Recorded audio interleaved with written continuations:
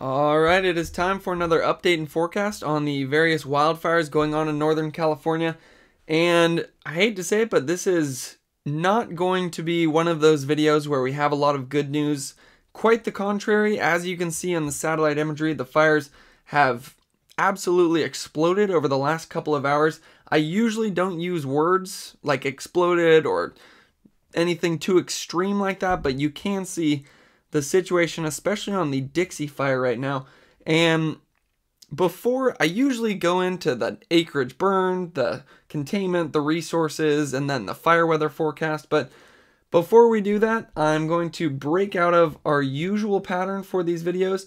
And what we are going to do is actually look directly at some of the evacuation orders because there are some new ones in effect as of right now. And the, these, like I said, are it's a developing situation as of right now with that increase in fire activity that we've had this afternoon. So I'm just briefly going to show where all those new evacuation orders are. Key one that I noticed on this list is Janesville west of Highway 395 from Janesville grade south to Milford grade. So Janesville is an area that we've been talking about for, I don't know, maybe five or six days. We've been looking at the Janesville area, worried that the fire might re might go up into that area. And as we are seeing right now, it looks like the situation has pr progressed in a negative direction, and we do now have some evacuation warnings there.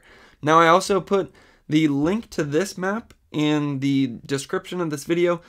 You can see where there's evacuation warnings reach don't believe there's a, an official warning in Susanville yet, but it looks like it's right up to the edge. And when it comes to my personal opinion when it comes to evacuation orders, I I don't think you should technically wait until you're officially under a warning. I think in situations like this, even if you're not under a warning yet, if your gut's telling you to get out, then that's exactly what you should do. And you you never know. Sometimes the internet goes out, sometimes those emergency systems don't work as well as they're supposed to. So if you feel that you should get out and you haven't gotten an official order yet, I would always just say to follow your gut when it comes to that kind of information. But as you can see, there are a large number of places that are now in that evacuation order over the last, I think that was one hour ago that they just sent that out. Yeah, it was one hour ago. You can see this list of all the new places that are under the evacuation order. So be sure to check out the CAL FIRE website, the Facebook. The three ones I go to on Facebook are CAL FIRE Lassen Modoc Unit, CAL FIRE Butte County, and Plumas County Sheriff's Office. They all have great resources. Then you can also get this evacuation map in the link in the description. One place that sometimes does have some very up-to-date weather information is Twitter. You just have to make sure you follow the right accounts. Good ones to follow are Jonathan Cox, CA Fire Scanner, Zeke Lunder, all good accounts there. And then the one other great thing you can do if you're looking for wildfire information, go to InciWeb.com. Again, doing switching it up how we usually do these videos because this is one of those nights where it's important to make sure people know where to get the most recent information because as you could see on that satellite imagery, we do have that developing situation right now where things look like they could continue getting even more serious throughout the night tonight, at least just based on how much fire behavior we have. So again, what I was about to show is you can go to InciWeb, go to whatever fire you're interested. In this case, we'll go to the Dixie Fire. And then they have large amounts of information that you can read about, but I think the best part of this website is the very bottom here. It says related links. And you can just see there's, well, maybe 20 different links there where you can go and get a large amount of information covering the Dixie Fire. So I am going to try to do a better job of reading the live chat throughout the course of this video than I usually do because, again, this is going to be one of those videos that is very interactive. I'm going to be counting on you guys to be sending in some information on your end when you get some recent information, and then I'll do everything I can on my end to try to go to the best resources I know of and then be the medium of that information. Just because, as I said, this is a developing situation as of right now.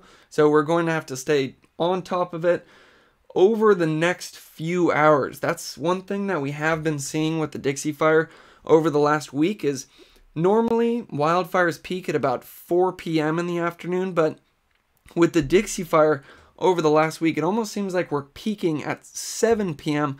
and then we're seeing that fire activity increase even into the overnight hours. At some points at 12 p.m. at night, we still have some extreme fire behavior. So this is most likely going to be a very long live stream today because because of this developing situation as of right now. And looking at the live chat, it looks like people are saying all of Janesville is under the evacuation order now. You can see that back on this map. There's that evacuation order. I'll just make sure to keep updating this because we most likely will continue to see changes on this evacuation map. If we zoom in there, you can see it's is it does look like it's starting to stretch up into Susanville as of right now. And then you can see Janesville and Buntingville right there, officially in that evacuation order. And I'm curious if you click on this, if it tells you evacuation order, immediate threat to life. This is a lawful order to leave now. The area is lawfully closed to public access. So no more information there. Fire and police info, and then it has the different counties that are under it. So again, you can find all of that information in the link in the description. I'll just keep looking at the live chat. Yeah, code red evacuation warning system is not working correctly and they are resorting to reverse 911 system to try to warn people. So that kind of ties back into what I was saying earlier. Like right now, it looks like the evacuation orders start to stretch into Susanville, but not all the way. And that is where I again, always trust your local authorities more than anybody giving you advice on the internet. But when it comes to, at least my opinion, I live in very high fire danger area, and I personally don't wait for any evacuation orders. If I get one, guaranteed I leave. But I also don't wait to get one. If I start getting that feeling in my gut that things aren't good, I just pack up and leave and don't don't there's really not a reason to risk it if you get that feeling in your gut that it might not be a good situation over the next few hours. And when we look at the fire weather forecast, you can see that we are going to have very poor humidity recoveries throughout the overnight hours, which means it's going to be dry overnight, which means that this fire will most likely continue to see active behavior over the next few hours. And just based on how fast these smoke plumes are going, you can tell that what we were talking about in the forecast yesterday with those high winds coming in at about 35 miles per hour is exactly what we saw throughout the day today and as of right now. Whenever you whenever you see the smoke blowing that fast, you know there's some strong winds in the area and that is part of the reason that we're seeing such active behavior as of right now. Yeah, so somebody said if you were within five miles of this fire, I would evacuate. I'd say that's pretty pretty safe to say there. See somebody from the Burnt Ranch area. Sounds like they're behind a containment line, so that's some great news there. We were looking at the Burnt Ranch area yesterday, and it looked like that situation on the Monument Fire was starting to get a bit sketchy. So good to hear that you are in a good situation. yeah, coming over the ridge above Janesville as we speak, all hell has broken loose. And one other thing we can do to actually see some of this activity looks, we'll wait for it to spin around here because I was looking at this camera earlier and you can actually see some of the activity, but this is more, it's usually more pointed in this direction where we see the areas up above like the Westwood type area or the Chester type area. But we'll see if it spins around if we can start to see some of that activity that's happening on the northeastern section of the fire.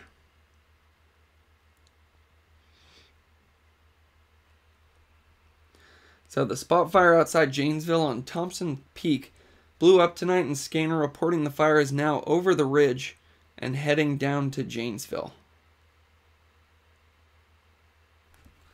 Yeah, so then somebody commented on the satellite images. This always takes a little while to turn back around, so we'll take another look at that satellite image.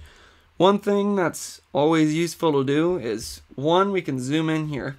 You can see that we started off this morning, still had some moderate behavior, but then as those winds picked up throughout this afternoon, fire activity is about as intense as we've seen it quite possibly on the Dixie Fire. And we've been following this for maybe three weeks as of right now. And that plume coming off of the northwestern section of the Dixie Fire is about as intense as we've, I think, as we've seen on the Dixie Fire. Looks like McFarland Monument, River Complex, and Antelope also seeing a large amount of activity. We will check out the Monument Fire at some point because does look like there's a large pyrocumulus coming off of that eastern section, and we were looking at that yesterday. But again, the key area is going to be that Dixie Fire area because looking at their Facebook page, you can see all kinds of new evacuation orders in place, including Janesville, which apparently they're doing reverse 911 calls as of right now.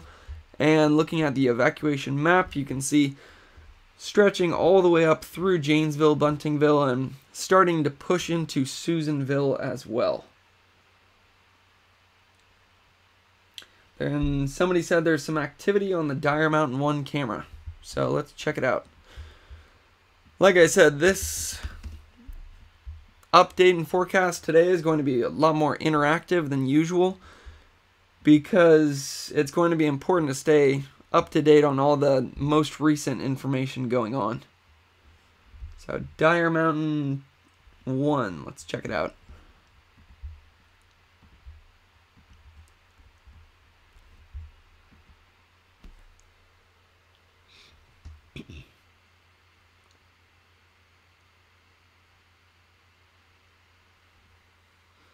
yeah, you can see large amount of activity biggest thing I notice is how fast that smoke is moving there. Again, of course it looks fast because it's a time lapse, but we usually see some of that smoke just going straight up into the air like that, like what it was doing earlier in the day.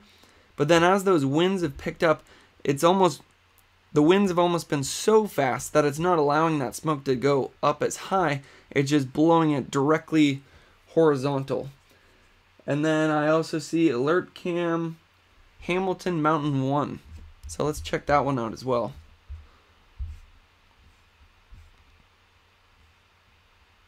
Wow, look at the orange skies from Hayfork Divide, Hayfork Divide 2. Can guarantee that those areas are right underneath the smoke plume. That's usually what the case is when you see those orange images like that. Yeah, so seeing a lot of activity on this one.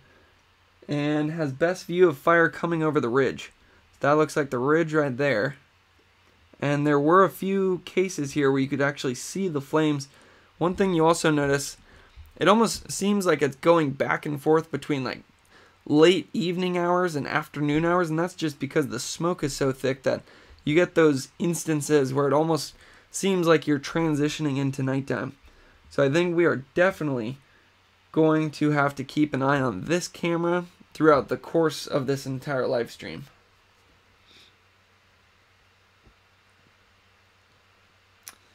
Oh, this is a good point that somebody put in the live chat. The Cal Fire Dixie Fire evening update for tonight is not going to be giving in person due to them focused on current situation and is just going to be a pre-recorded message at 8 p.m.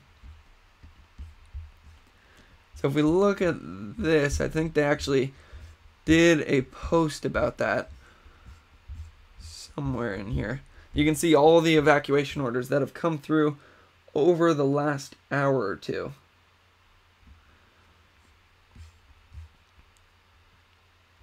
So, due to the red flag warning, that was the big story we were talking about yesterday the challenging conditions that were coming into the Dixie Fire with the warm temperatures, the low relative humidity, but most importantly, those strong wind gusts. They surprisingly didn't have a red flag warning over it yesterday, But if we look at where the fire perimeter is right now, and then turn on the weather watches,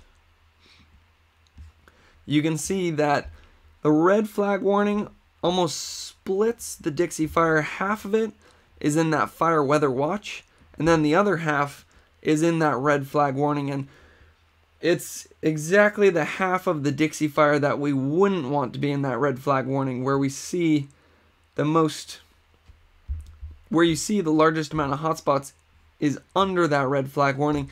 That's no coincidence. It's because of that extreme winds and the very dry air throughout the day today which is why we're seeing so much activity on that northeastern edge. So just read this. Looks like it's they're actually showing this for 11 a.m. to 11 p.m. Tuesday. So that's actually, I would say, some bad news because we're seeing a lot of activity on it right now.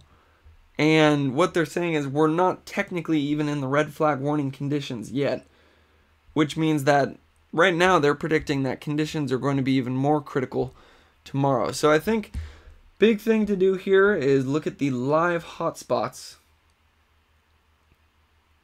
So somebody said Hayfork is okay too, but the fire has been moving in that direction as well.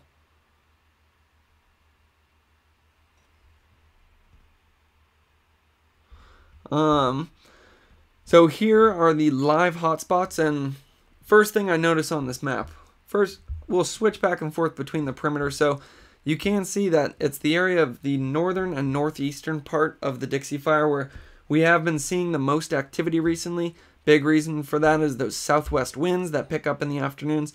And let's actually look at those southwest winds because that really paints the picture of why we're seeing all this activity right now. If we go to the Dixie Fire area, and look at the winds that we currently have right now, and especially in that eastern section, we still have some 35 mile per hour wind gusts, and it's 8 p.m. You usually have your strongest wind, wind gusts at about 5 p.m. You can see there is widespread area, area around the Dixie Fire where we had that increase in winds throughout the day today. So, this is what we were talking about yesterday about why the conditions were going to be so challenging today 38 mile per hour wind gusts, which is much stronger than we have had in the past. Actually, over the last few days, we've had relatively calm winds because there was this large high pressure system just sitting over California. That's what allowed all that smoke just to settle down throughout California. You probably noticed how much worse the air quality was. But as that high pressure system moves out and this low pressure system and this trough starts to take its place, I'm going to close this and I'm going to close this as well. I think it's causing the computer to go a little slower than I want. But basically, it's this trough that's to blame for the increase in activity right now. As that moves through, and you can see it's peaking on Tuesday, but we're already starting to see some of the effects from it. That's what's bringing those stronger winds into our area. One thing you can see is earlier this morning, and throughout the last couple of days, you notice how far apart those lines are. The farther apart those lines are, they're called isobars, lines of constant pressure. Farther apart those are, the better it is for wildfire because that means the weaker the winds are going to be. Now watch as that trough starts to move in, you notice those lines get a lot closer together, and then eventually on Tuesday we're going to be switching to some northerly winds. So that's why that red flag warning is in effect tomorrow. But again, the big story going on right now is that as those extreme winds come in throughout the last few hours, and as of right now, going into 8 p.m., you can see starting to calm down a little bit, but still at 35 miles per hour, so very strong and from the southwest. That is what's been driving the increase in activity that you can actually see on the imagery right here. So when it restarts, you can see relatively calm throughout the morning, and then right when those winds pick up this afternoon, you just see pyrocumulus, pyrocumulus, another one up here. So we almost have, it looks like one, two, three, four, possibly a fifth coming in soon. Large pyrocumulus clouds coming off of the Dixie Fire as of right now. So I also see somebody said Monument Fire blew up. That's another fire we're going to be looking at throughout the course of this live stream. Looks like it's especially on the eastern edge of the Monument Fire. And actually, I haven't mentioned the Monument Fire yet. So I do want to just say this. If we look at where the structures are, and we look at where the live hotspots are, you can see that I believe that's Junction City right there looks like the hotspots are over that area. So I imagine this is an area that already has evacuation orders in place, but I would also definitely stay updated with all the local information if you live in these areas just to the east of the monument fire because we have seen how fast these fires can move in the past and I would certainly try to stay updated with local resources to see if there are any new evacuation orders. Now, the one other thing I will say, just in case anyone from the Burnt Ranch area is seeing that hotspots directly over your structures, or from the Junction City area where you're seeing the hotspot directly over those structures, one thing that I will say is that these hotspots aren't always exactly on point. So that is one thing to remember when it comes to this map is that it's satellite imagery picking up hotspots from space. So it's not 100% accurate where those hotspots are. We've seen that in the past. But again, that is why there's such. It does paint some kind of a picture about where that activity is because there is a reason that the satellites are picking up those hotspots is because there are a large amount of hotspots. And what I think might actually be an even better way to see it is go to the natural color fire. You can zoom in here and you can actually see where that fire activity is. And that was actually the first time I've looked at this, or at this map, throughout the course of this live stream and throughout the course of today. And just given this information, I would say this is looking worse. Like when I first started looking at the wildfire information, I could tell the situation was bad, mainly because of all those new evacuation orders that we have throughout Janesville you can, or Janesville and the rest of the Dixie Fire area. Again, this is the CAL FIRE Lassen Modoc unit. If you scroll through their Facebook page, it's just evacuation order, evac evacuation order, evacuation order. You can click on the evacuation map, and you can see it's now including the areas of Janesville and Buntingville. And I would imagine pretty soon Susanville will be under that evacuation map as well. And that painted the picture that the situation right now is a lot worse than it has been over the last few days. But looking at this map, you can see that we're seeing much more fire. You would call this radiative power, but you can also just call it extreme fire behavior than I think we've seen in the entire course of the Dixie Fire. Again, we've been following this for three weeks, and I cannot remember a time when the Dixie Fire map looked like this. And the number one thing we should be focusing on here is we know the fire right now is mostly moving up towards the northeast because it's being fanned by these southwesterly wind gusts at about 35 miles per hour. So as long as we have those winds, that fire is going to continue to try to keep moving up farther to the northeast.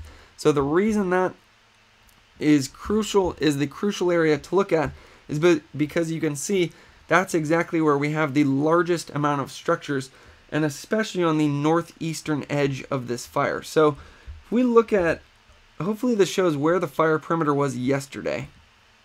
So we did still have a large amount of activity on that northern section yesterday and that northeastern section, but when we looked at it yesterday, there was still a large amount of distance between this fire and the Janesville, Buntingville area. We had about eight miles. But then if we look at the live satellite hotspots, you can see that it actually appears that a spot fire came into the Jane, or Janesville, Buntingville area, and we're now picking up heat signatures in this in the area that we would have been talking about over the last five to six days, where where was exactly where we did not want to see heat signatures popping up. So again, this is going to be one of those live streams where I'm not going to be able to just click through my tabs and give all the information that has been updated maybe in the last two hours. What we're going to have to do is just try to stay updated with all the current information that's coming out because it seems like it's one of those days where the situation is going to be changing every five or ten minutes.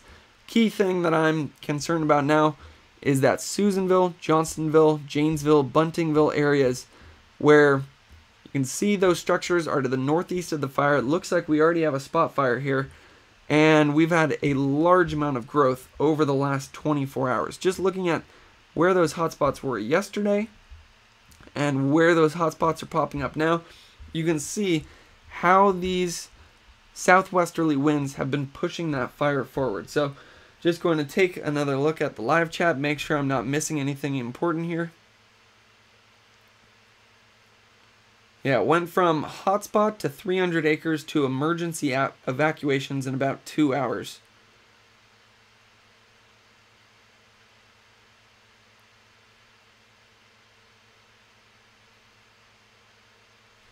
And again, Janesville, I should probably, whenever I'm looking at the chat, I should just open up this evacuation map so that people can see where all those new evacuation warnings are.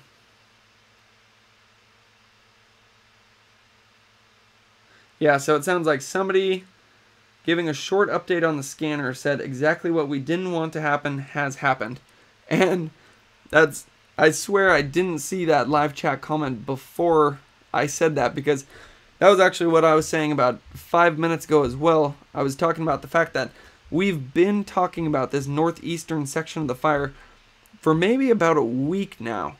We've been talking about how that's the area of the fire where we've been seeing the most activity. And that's the area of the fire that I've been the most concerned about because we know that the predominant wind direction during the afternoons is from that southwesterly direction, as we are seeing throughout the day today, with even stronger winds throughout the day today than we had seen in previous days. And when you have winds consistently blowing in one direction, at the same time when you have very warm temperatures around 80 degrees. Most likely was even warmer than that today. Oh, it said it just updated right as I was clicking away. It said actually 91 degree temperatures today. And then also humidity into the low teens and single digits. Mixed with those wind gusts coming in. That's that's like the trifecta of exactly what you don't want to see, especially when you have such a large amount of structures up to the northeastern section of that fire. So going to, I believe this map updates automatically, but I'm just going to make sure we keep updating it because this is going to be a very important area to follow throughout the course of the next few hours because you can see all those hotspots we have there. Looks like there was a spot fire that started. I haven't defined that yet, so spot fire is where you have the major blaze like this, and then when you get some southwesterly winds coming in like that, especially when they're blowing at 38 miles per hour, what it's able to do is pick up some of the burning embers from this major blaze, carry them. You can see they often get carried in a smoke plume, like what we're seeing on that northeastern section right there. Inside the plume, it's hot enough for those burning embers to stay on fire. And then what ends up happening is they drop down to the surface where the fuels are critically dry right now and it starts another fire and you can see that that one has rapidly grown over the last few hours. And then you can also see that northeastern section right there, almost going up to the Jane or the Susanville area, has just been taking off throughout the day today. That was actually a part of the fire that looked relatively calm over the last few days and you can see that that is seeing a large amount of activity in just the entire Dixie Fire in general. You can go back through all of my update and forecast videos we've been watching, or we've been looking at over the last few days, or last a few weeks, and I don't think we've ever seen a time where we had that many hotspots. Now, one thing I will say is that around the around Lake Almanor, it's actually a favorable wind direction if you have structures in this area. When the winds are blowing at 38 miles per hour like that, and you can see that the smoke plume is moving in that direction as well, that's good news for the areas around Lake Almanor. Again, that's why our key concern right now is what's going on in Janesville and Buntingville. So how far did that Spotfire Ember travel? Let's see if it's on this map. I usually find this one's more accurate. Doesn't look like they have it on that map yet. So let's just see if we can measure it. One thing I will say is that these hotspots aren't always accurate. It's heat signatures being picked up by a satellite in space. But we can just, for measurement, or for question's sake, we can just try to measure it. I imagine the spot fire started down here, and then those southwest winds just continued to blow it up from the north. It's unlikely that it actually started up here and then went against the wind all the way down here. So when we try to figure out this measurement right here, looked like it was maybe three to four miles that that spot fire could have traveled in. Well, that doesn't sound realistic. I do remember listening to one Cal Fire representative where he he actually said they were seeing spot fires three to four miles away, and he said it was something that he hadn't personally seen in his 20 year career with Cal Fire. He said they were seeing spot fires farther than he's ever seen before, and that that I think has been the biggest factor on the Dixie Fire throughout the entire course of its lifetime is it's as we get those strong afternoon wind gusts, it leads to those spot fires, and then that's when we have the most rapid growth. Now, I haven't really mentioned the northwestern section yet, but you can see that's also an area of the fire where we're seeing a lot of fire activity. That's actually the part of the fire that has the largest pyrocumulus cloud coming off of it right now. And then I also remember when we are looking at the natural color fire, you can see how intensely that north that northern section is burning there, but actually just all four of those different sections on the Dixie Fire, seeing a large. Yeah, so Lucy said started at the bottom, then blew up. I I would definitely think that's the case with that spot fire there, because with those southwesterly winds, it would make sense that it would maybe started down here where the fuels are critically dry. I remember hearing a CAL FIRE report that with those burning embers, once they fall to the ground, they said there's about a 90 to 100% chance of them actually starting a new fire. Which is just unheard of, and it comes back to the fact that we're in a very bad drought in California right now, and it's also been extremely dry over the last few days, or last month, I would say, and that's continued to dry out the fuels as well. So large ashes falling in the fire camp in Susanville per a firefighter I just talked to.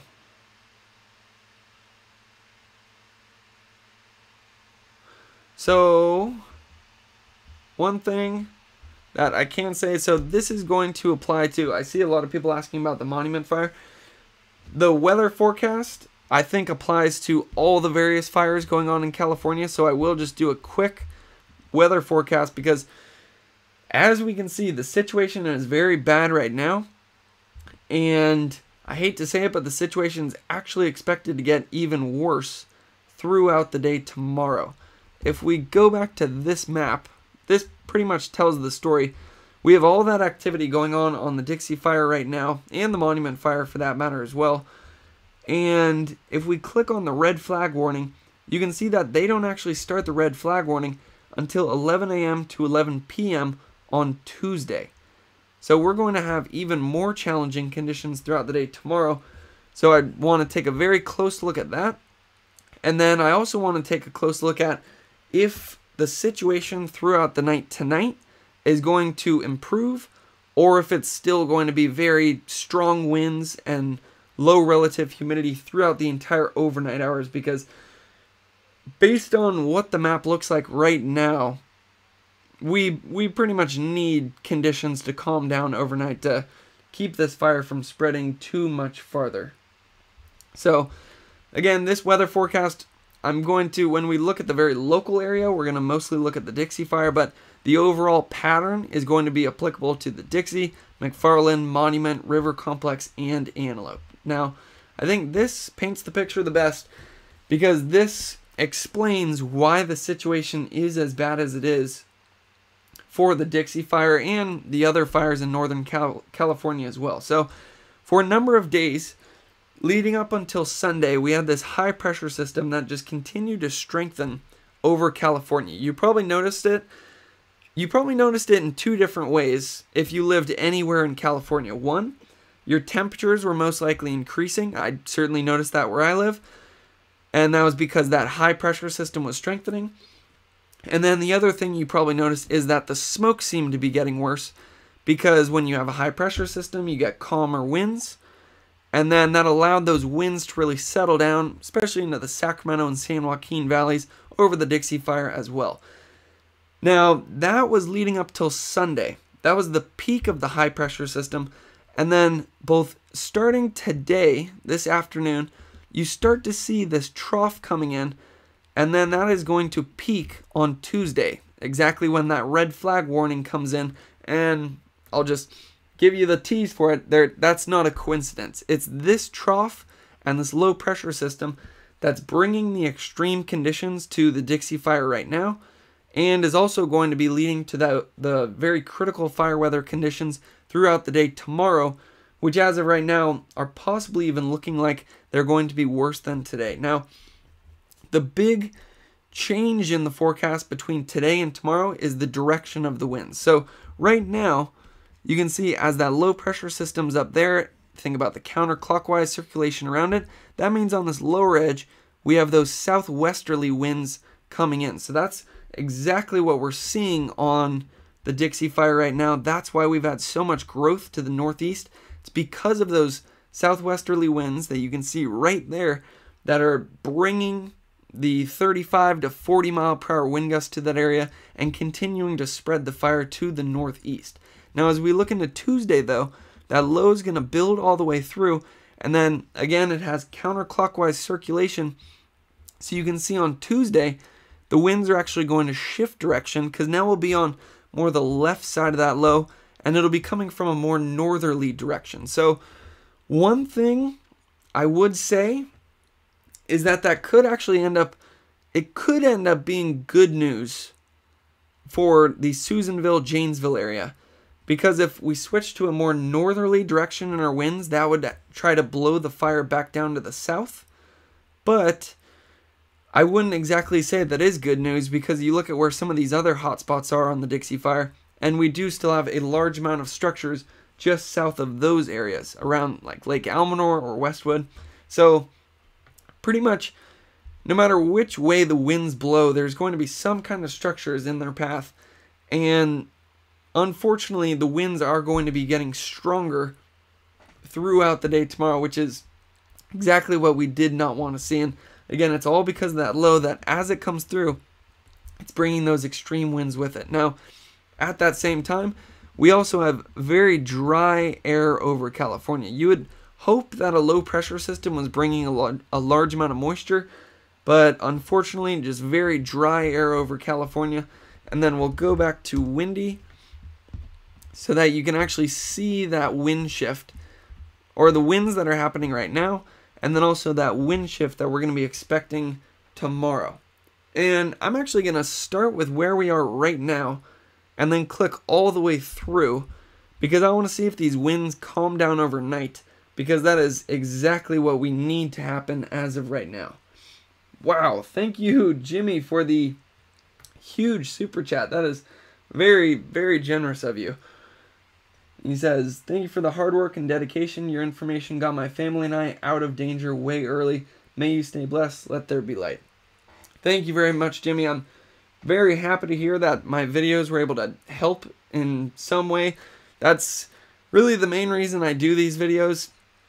I have lived in California my entire life and I know how difficult it can be sometimes to find the most recent information and find out what's going on in the situation. So, I know that since I'm getting my master's in meteorology and my major focus is wildfire and I'm looking at all this information anyway, it's almost kind of my responsibility to be a middleman for this kind of information to get it out there to as wide of an audience as possible. So thank you very much, Jimmy. And again, great to hear that your family got out to safety.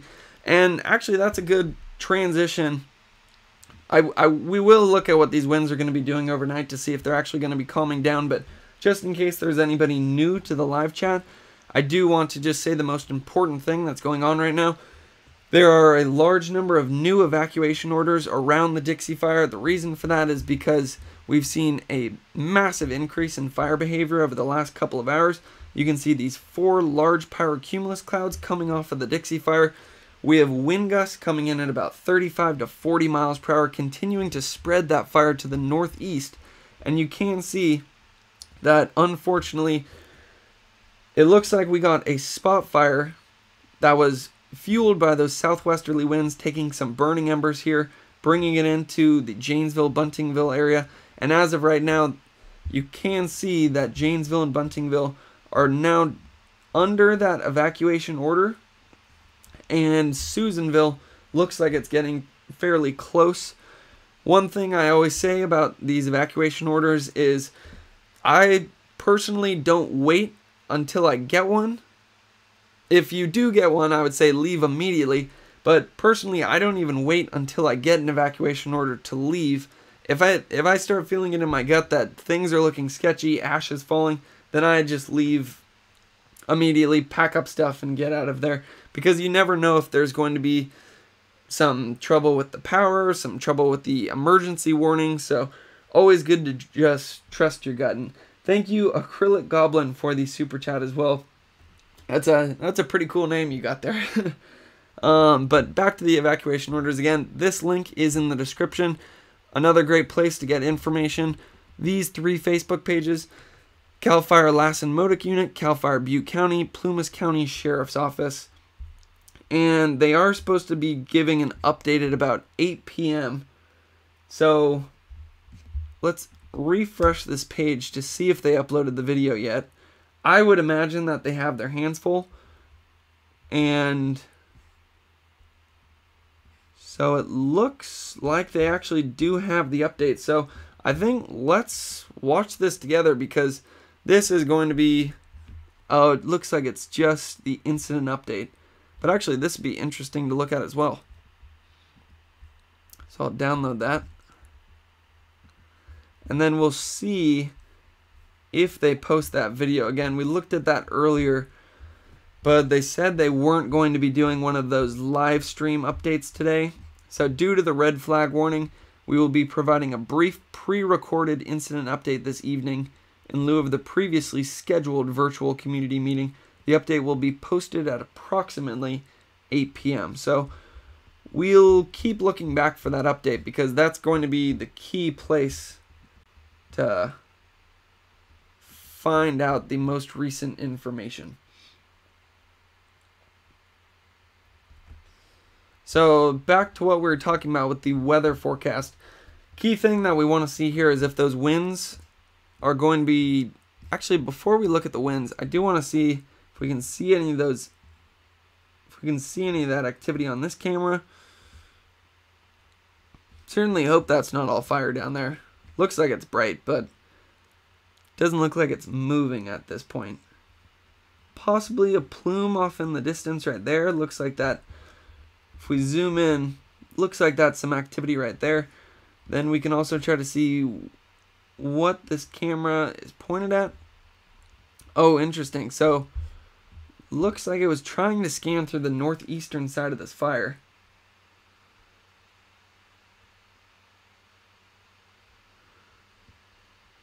That might be a plume up there.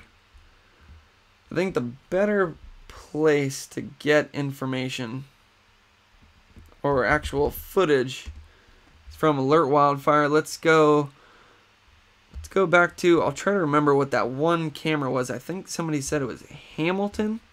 That was what we were looking at earlier where we could see the large amount of activity and it actually looked like the fire was starting to go over the ridge line one thing before I press play, or actually I'll press play so that I can load while we're talking about it. So, looks like this camera points down on that northeastern section of the fire where we're seeing the most activity. So I am very interested to see what this camera looks like right now. And then we can also check out that camera in a second too to see if we can actually see the activity across Janesville because looking at this map it does look or I, I think I meant to say Susanville right there. Yeah. We'll take a look at that camera next to see if we can see any activity going across Susanville because based on the heat signatures it certainly looks like there's some activity just to the southwest of Susanville. And with that being said, I'll go back to this map too. Looks, I'll make sure it's updated. Don't know if that map automatically updates, so I should keep doing that. Doesn't look like all of Susanville's in that evacuation order yet, but again, if if I personally lived in Susanville, I I would probably just leave right now, just to just to be sure. There's, and it's always better to get packed up. Oh, um, so I I am live right now. I see somebody was asking that in the live chat.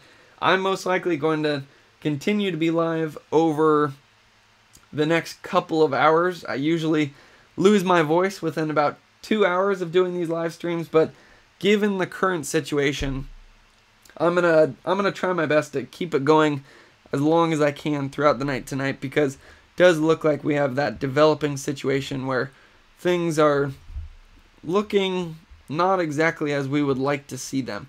Now, we'll look at this view in one second, and then we'll look at that Susanville camera to see if, and thank you, Mike, very much for the super chat. Um, well, I see you say you give much more info than CAL FIRE. That's kind of the philosophy of what I'm doing here. There's lots and lots of different places to get wildfire information. So, including CAL FIRE, including InciWeb, including Facebook, Twitter. So, almost what I try to do is just collect as much information as I can and then just be the middleman and try to say the most important information that I've been able to find in as concise a manner as I can as I can make it. So before we look at this fire that looks like it is going over the ridge line from the Hamilton mountain camera, we've been talking about this over the last five minutes. So I really just want to see if these winds are going to be calming down throughout the night because so far we might be an hour into this live stream and we haven't been able to find one piece of good news yet.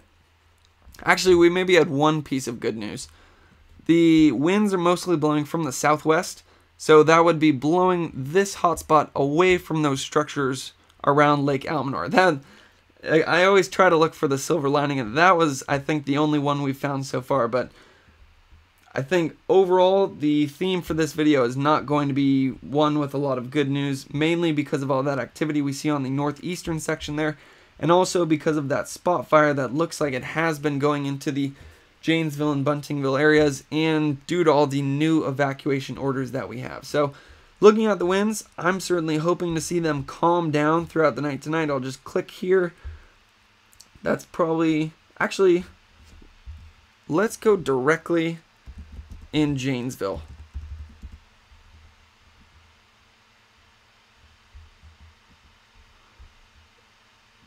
So I think it was right about there.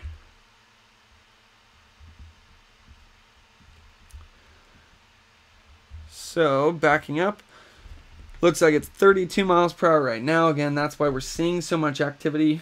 Oh, get a drink of water. That is a great idea. It's been, don't think I've had a drink of water yet. And I see somebody just said, fire coming down the hill towards Janesville. So, going through here, what we're hoping is that these winds start to calm down. It looks like as early as 11 p.m., they at least calmed down by about 10 to 15 miles per hour, which is actually huge news right there. Because if we're seeing it continue at 35 to 38 miles per hour all throughout the night, that would just continue to let it play take a breath. I love it. That that'll be great thing once I actually do play that alert wildfire camera. But first, I do want to see how much these winds calm down because getting into 11 p.m., fact that we're going down to 21 miles per hour again, that's more than we usually see at 3 or 4 in the afternoon when it's supposed to be the windiest part of the fire. But it's at least not the 35 to 40 miles per hour like we're seeing right now. Then it looks like 2 a.m. it calms down to 13, then to 12 at 5 a.m., and then as early as 8 a.m., it looks like those winds start picking back up again.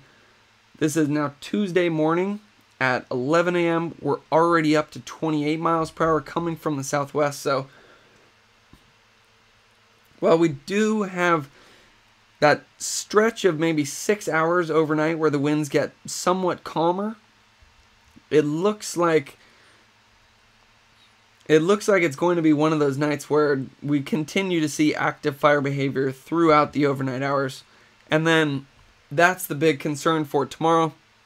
You can see getting into Tuesday afternoon, we have those gusts even stronger than we're seeing as of right now.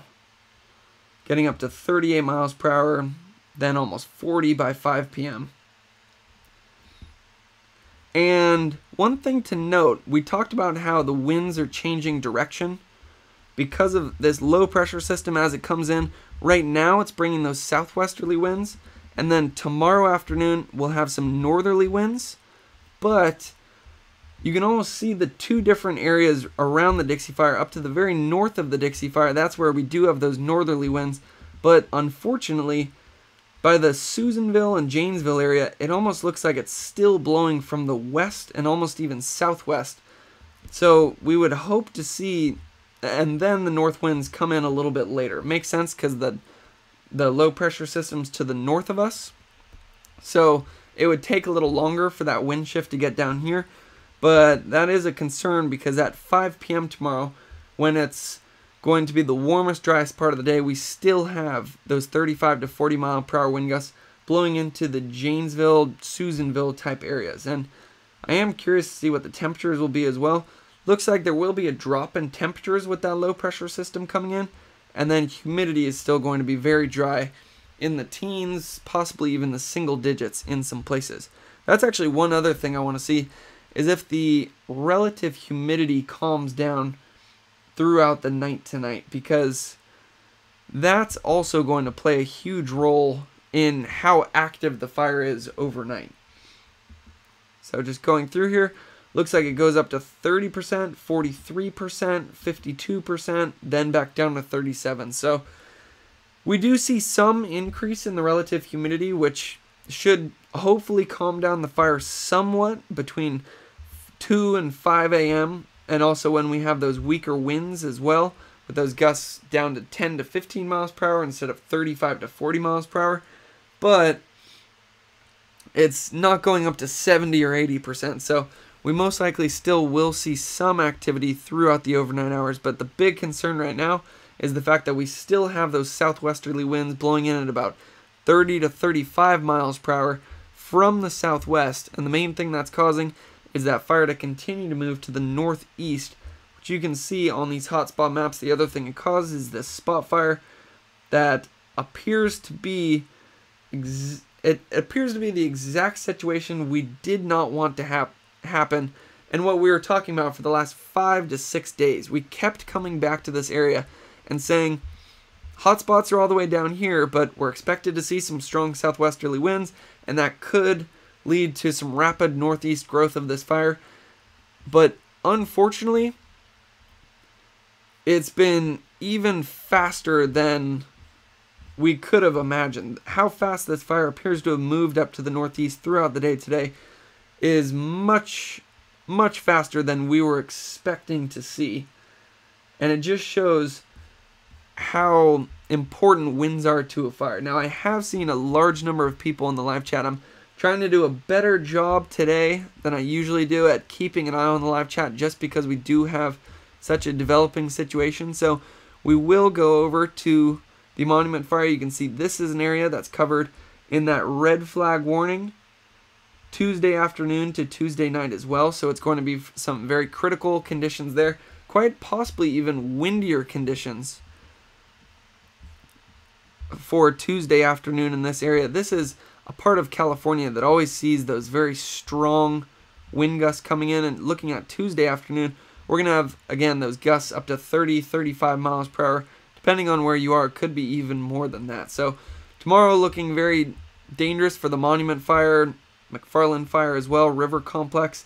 Seeing lots of hotspots on that southeastern edge. You can see Weaverville there, Junction City right there. It's a bit better to actually look on this map where you can see where those hotspots are right now. It, I hate to say it, but it looks like those hotspots are over Junction City right now. One thing I will say is I haven't actually been able to find any resources yet that talk about the fire activity in Junction City. But based on this map, it looks like the hotspots are over Junction City, but again, what I'll always say is these heat signatures aren't perfect. We've seen this time and time again throughout these videos where the satellites are doing the best they can to pick up where those heat signatures are, but it can be off. So I'm just kind of grasping at straws here, just hoping that those hotspots aren't actually in that area. Now you can see where we have Junction City and where we have Weaverville. So let's take a look. It does look like those hotspots are, I imagine that's Junction City and that's Weaverville right there. So looks like Weaverville is still out of those hotspots. But I will say that, as I was just saying, those hotspots aren't always perfect on this map. And we'll have to keep an eye on it. I would have...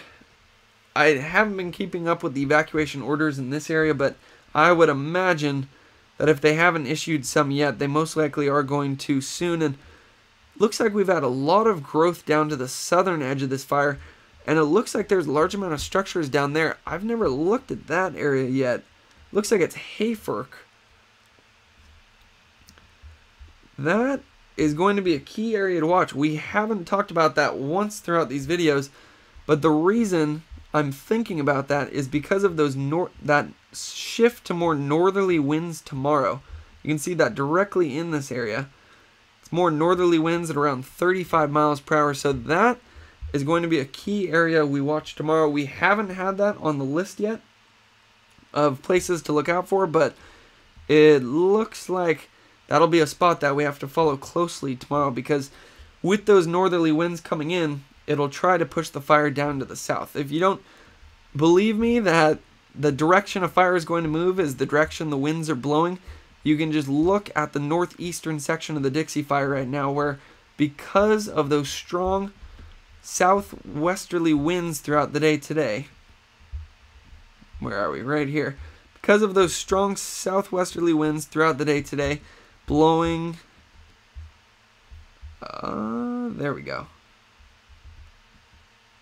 blowing at about 35 miles per hour, from the southwest. That's what allowed this northeastern section of the fire to flare up and also cause a spot fire that appears to have gone into the Janesville Buntingville area.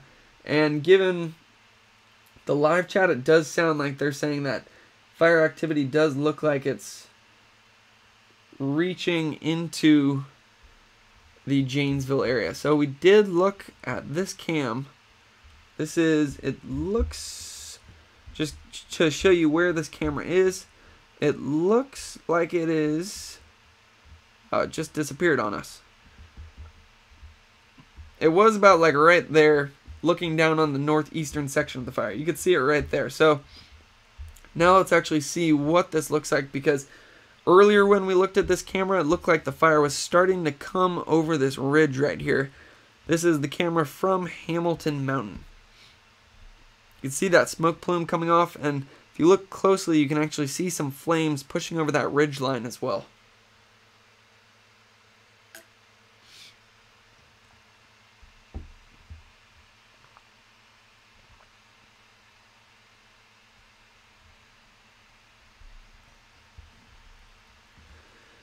So we're just going to be replaying that right now, and that's actually a great idea. Warm lemon water with raw honey.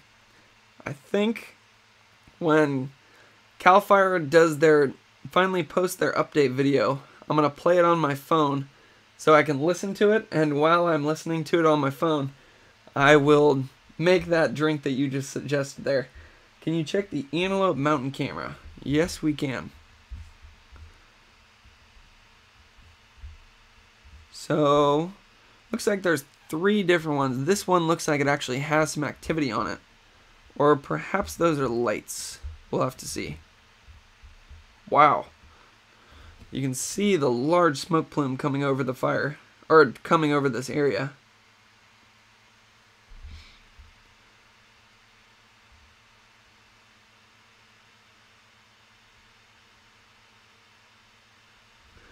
So you notice that one flash in the camera right there. This is something that always throws me off when I'm watching these.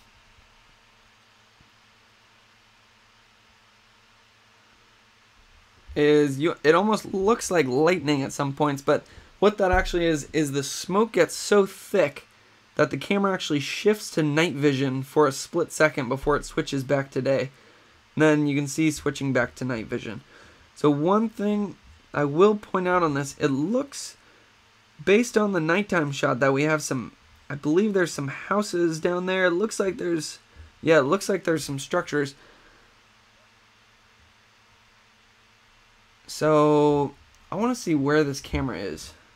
Oh, this is actually the next one that we were going to look at anyway. So you can see that going right over Susanville. Now we have a better grip of exactly what we're looking at here. So I believe Susanville is down in the foreground right here, and you can see how the smoke is going directly over Susanville. You can see the ash coming onto the camera as well.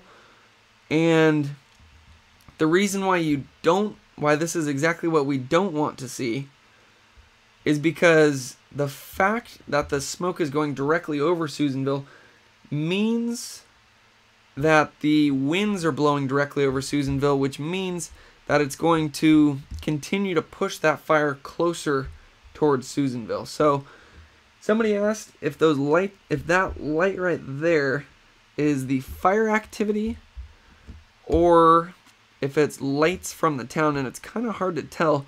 So let's go to 15 minutes and see if it's clear. It kind of looks like I I don't want to say it's fire activity without actually knowing. But it does look like it's moving. It's not like a stationary light down here. And it looks like it's pulsing. Which is something you typically see with when it comes to wildfires. They it's not just constant growth. Usually the wildfire itself almost pulses. So it does actually look like that is fire coming over that ridge line there. But again, we don't know that for sure. So I'm hesitant to say that's exactly a fire coming over that ridge yet, but just based on looking at it, it looks like it has that pulsating behavior like a fire does, but it's also hard to see how far away that might be. If we look at this map, we'll just reload it again just in case. Looks like some of those hotspots are starting to get to some of the outskirts around Susanville, where we do have some of those structures. Just based on where the most recent hotspot is to Susanville, that shows about three miles right there. But again, these hotspots aren't always very reliable, so we'll certainly have to keep an eye on this camera throughout the course of this live stream.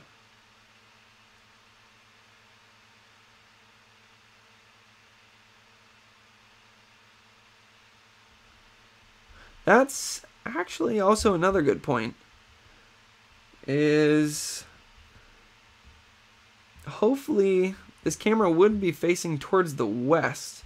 So hopefully that's just the sun poking through the smoke or the smoke plume. Hoping it's the sun. We'll just have to keep reloading that to see if we get a better view of that in the future. We can also check another one of these cameras to see if they're picking up any area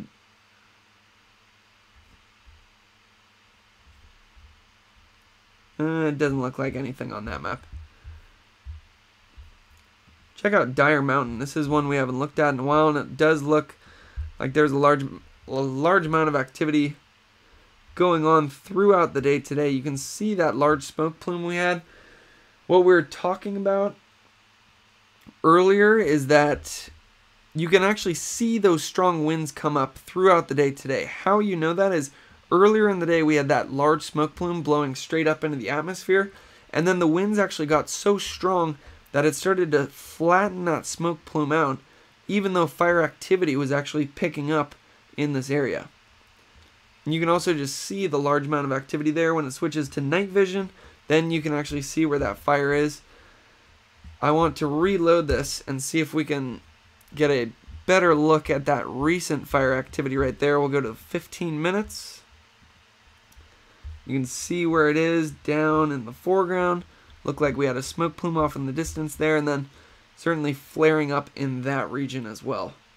So lots of cams that we're going to have to keep an eye on throughout the course of this video. We'll go to Dyer Mountain 2, see if there's another angle of what's going on. Oh, is this the camera that just spins and spins?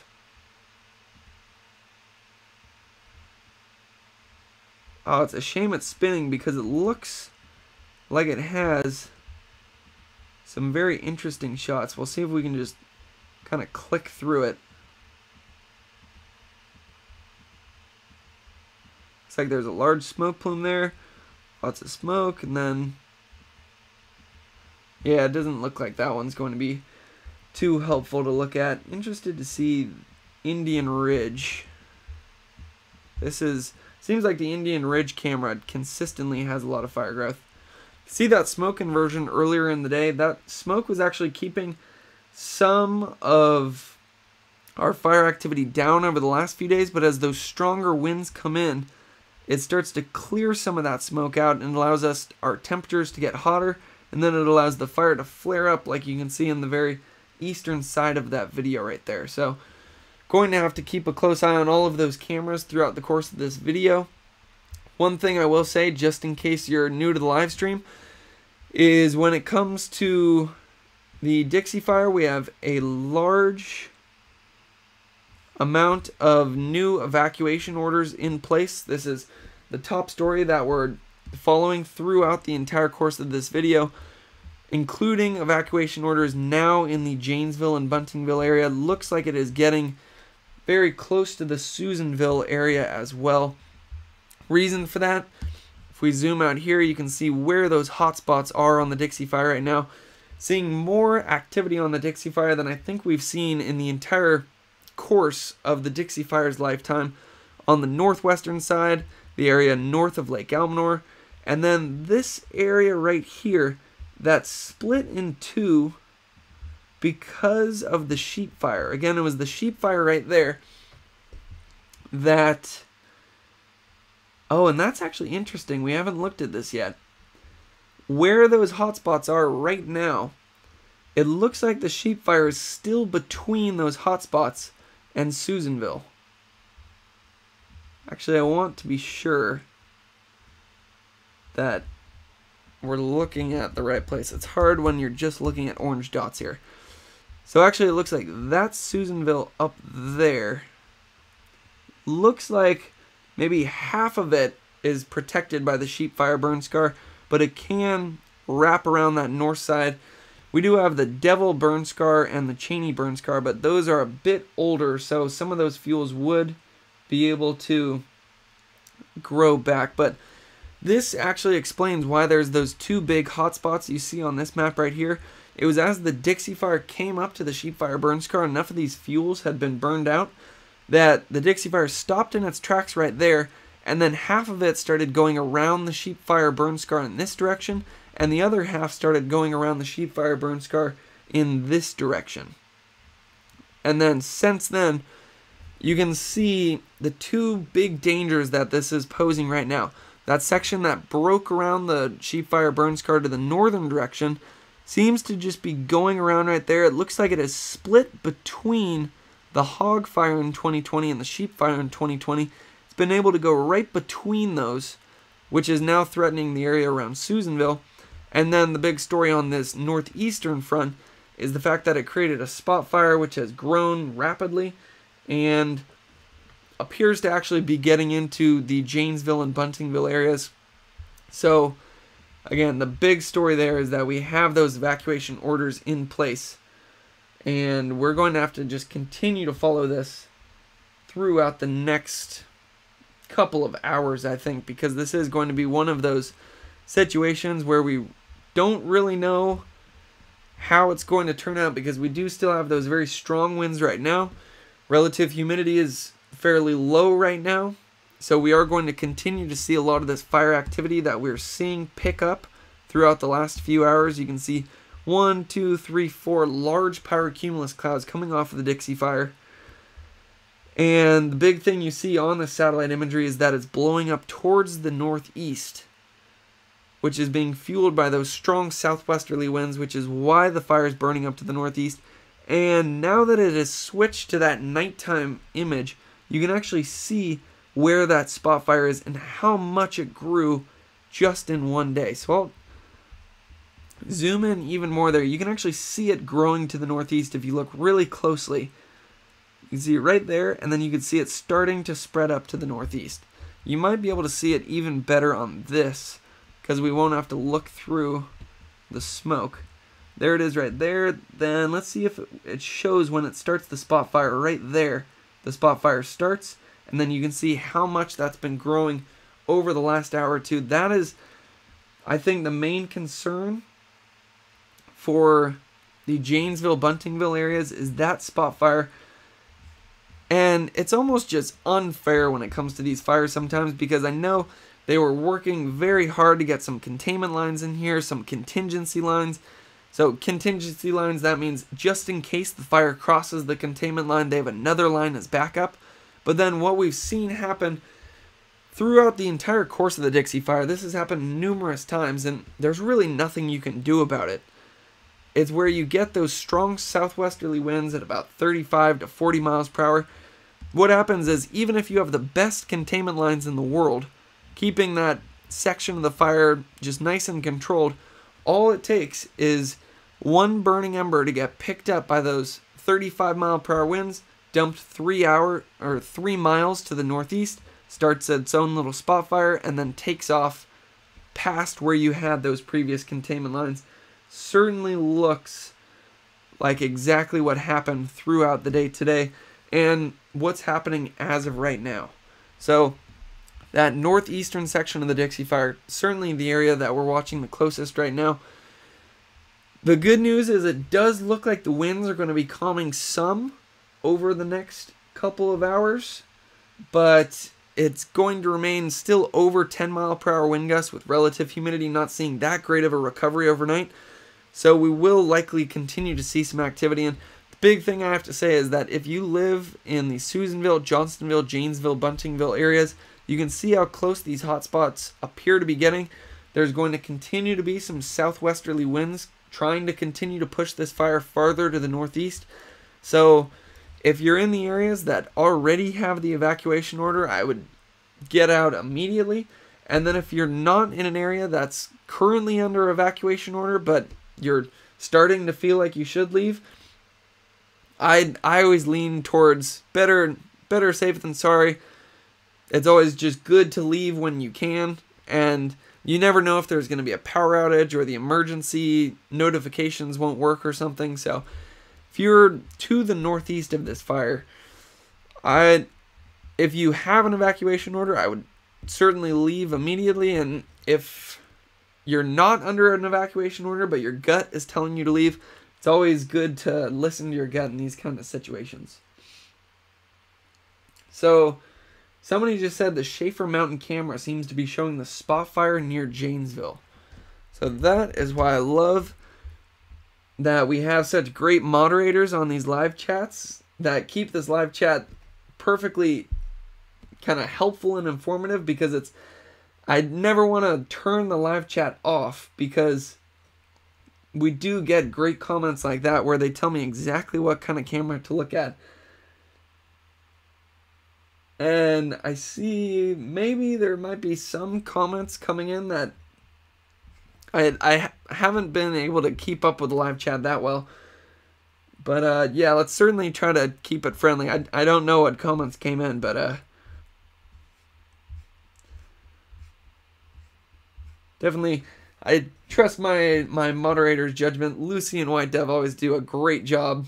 You guys should give a nice shout out in the comments to Lucy and White Dove, who do such a great job of keeping this live chat friendly and informative. So, and thank you very much for the super chat right there.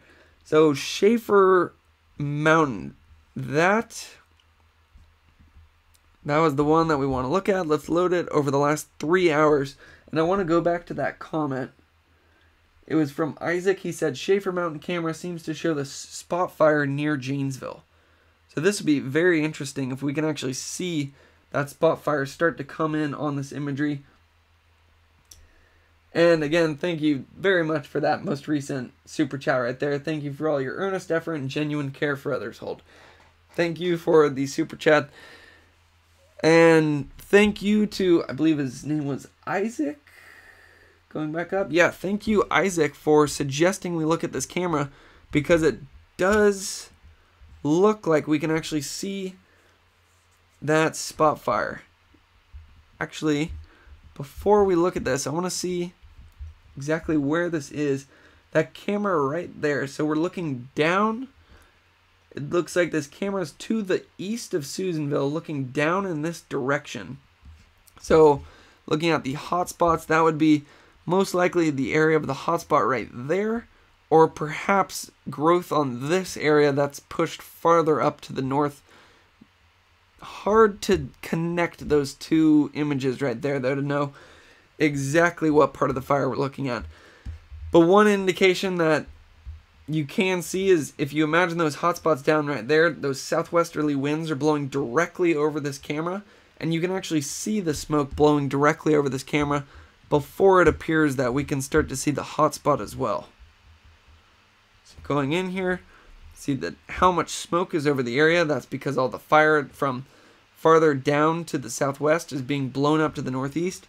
And then you see some of the lights from what appear to be structures and I'd imagine that's the. I want to look at that map again.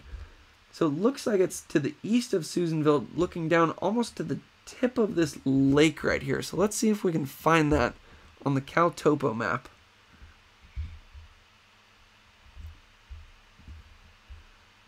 Is that the lake right there?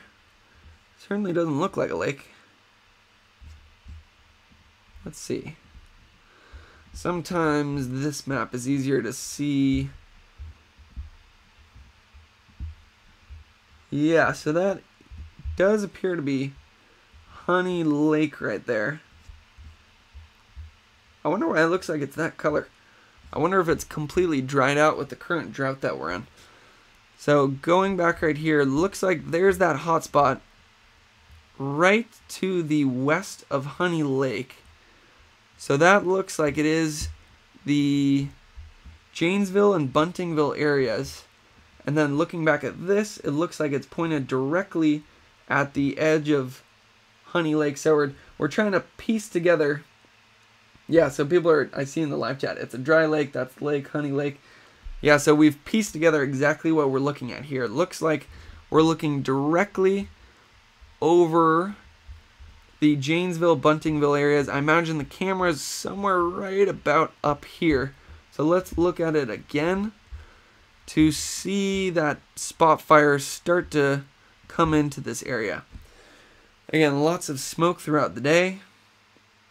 And then you can actually see the fires better once it switches to night vision. Sort of see the smoke plume popping up there. And then it switches to night vision see some of the houses, and then you see where that spot fire is. So thank you very much, Isaac, for putting this in the live chat. Because we'll definitely have to keep an eye on that throughout the course of this entire live stream. And it would actually also be interesting to check out the 15 minutes on this. Oh, definitely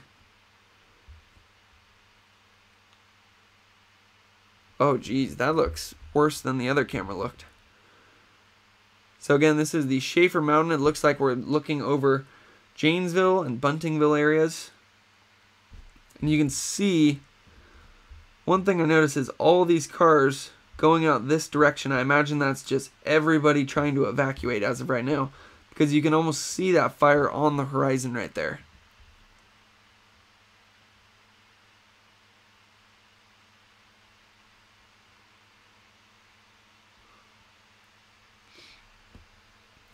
Man. And thank you very much, Brand X, for the super chat. Many thanks to our patient moderators and for creating this little community. And that that is kind of what I think of these videos. It is kind of like we're all it might sound corny and cheesy, but I really do feel like we're almost making these videos together because if it was just me looking at these maps, I'm there's only so much I'm personally going to be able to see, but then when you guys are able to comment in and ask questions and suggest cameras like the Shaffer Mountain camera, it really does help make these videos better. So and then that ends up being more helpful for everybody else. So it really is kind of a community that we're all kind of coming together to make these videos as informative and up to date as possible. So great job to our moderators and great job to also everybody posting the helpful questions and comments and the great camera recommendations as we are just seeing right here.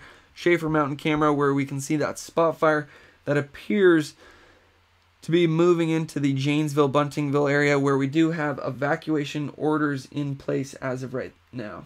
And you say, is that 395? We might be able to see it on this map.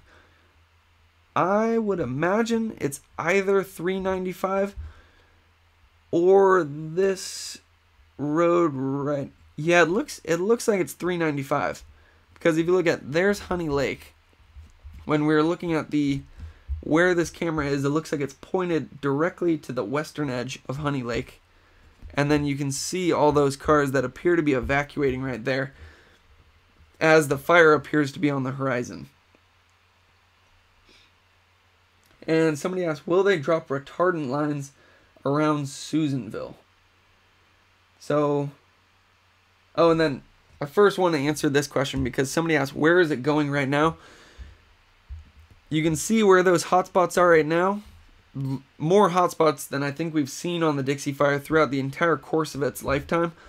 And it's still being fueled by those southwesterly winds at about 30 miles per hour. So it's going to continue to try to move farther to the northeast. That's why we're going to really try to stay up to date with all the most recent information because the wind speeds and the wind direction are not working in our favor as it will continue to try the try to push these fires farther to farther to the northeast and you can actually see exactly what that hotspot is that we were just looking at on the camera. It's that hotspot right there to the left of Honey Lake.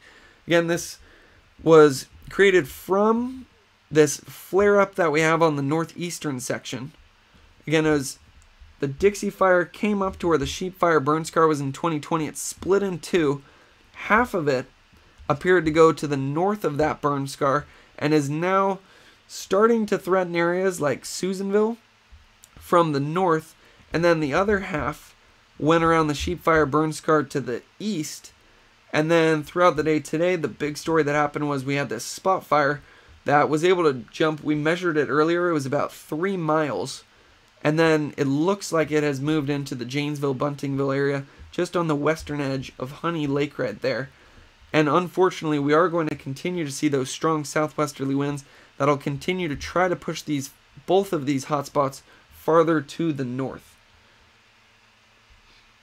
So, Holt, can you turn on hybrid on the map, then click cam to show info and turn the target on? You will see exactly where it is pointing. So, Never done this before. Oh, I think it's right here. Hybrid, then click cam to show info. 209 degrees, net county, Lassen, region, LMU. Nice. Oh, that is a very useful tool. Thank you very much, Trish, for letting me know. So that camera is going right over what looks to be Litchfield, Standish, Janesville, and then earlier somebody asked if it's 395, that road where it looks like everybody's evacuating, and it does look like that is 395 there. So great comment right there. Certainly certainly helpful to get all of your guys' input. And then somebody also asked if they're going to be dropping retardant over Susanville or Janesville. And that's a good question because we see how much activity that we have throughout these areas. We see that the fire and especially that spot fire appears. Take another drink. I'm glad I have you guys reminding me. Hopefully, you guys reminding me to drink water will keep my voice long enough to keep this live stream going much longer than usual.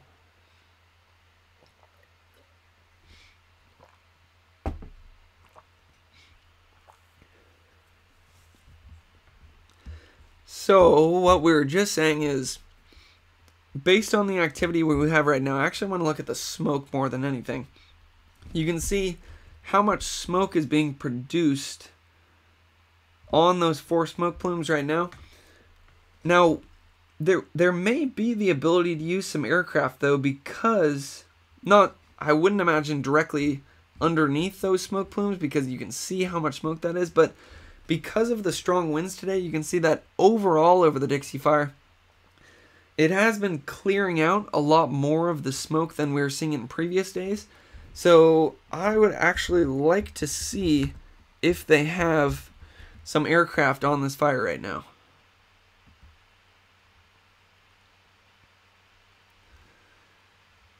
And I still need to get the uh, official paid version of this because I do want to start using this more and remove the ads. So, good news. Looks like they are able to fly some aircraft. Or I hope that's not just a. Yeah, that might just be a commercial plane. What about this one? Uh, those look like they're commercial planes. Is this one? Hmm. So you can see where Lake Almanor is. It looks like we have some planes in the region, but doesn't look like they're actually firefighting planes. Oh, so that's a great comment. Throughout the fire, crews have been applying retardant from the ground using their water tenders because air attack has been a limited option. That is great comment right there. Let's actually look at how many water tenders we're working with. Because I do remember CAL FIRE saying that at one point that when you have that much smoke, especially underneath those smoke plumes, where when we're looking at the alert wildfire camera earlier, there were some. Oh wow, we're gonna have to look at Beckwourth, Beckwourth Peak and Butt Lake in a second here. And take another look at the Dyer Mountain camera, Indian Ridge camera, Oregon Mountain camera.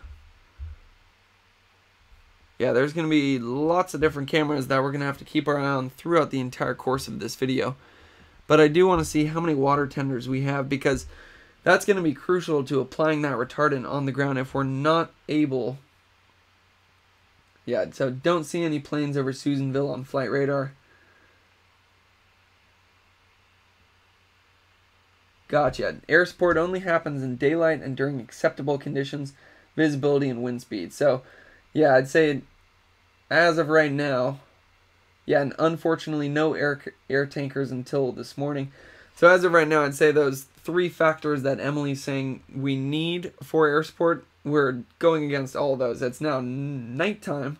We don't have acceptable conditions because visibility is poor and the wind speeds are still strong. So when it comes to any retardant that might be applied, that'll mostly be from those water tenders, and that is possibly where some of the good news comes in. We do have about 200 water tenders on this fire, 200 dozers, 569 engines, 20 helicopters, although we can't use those right now, and 6,500 personnel.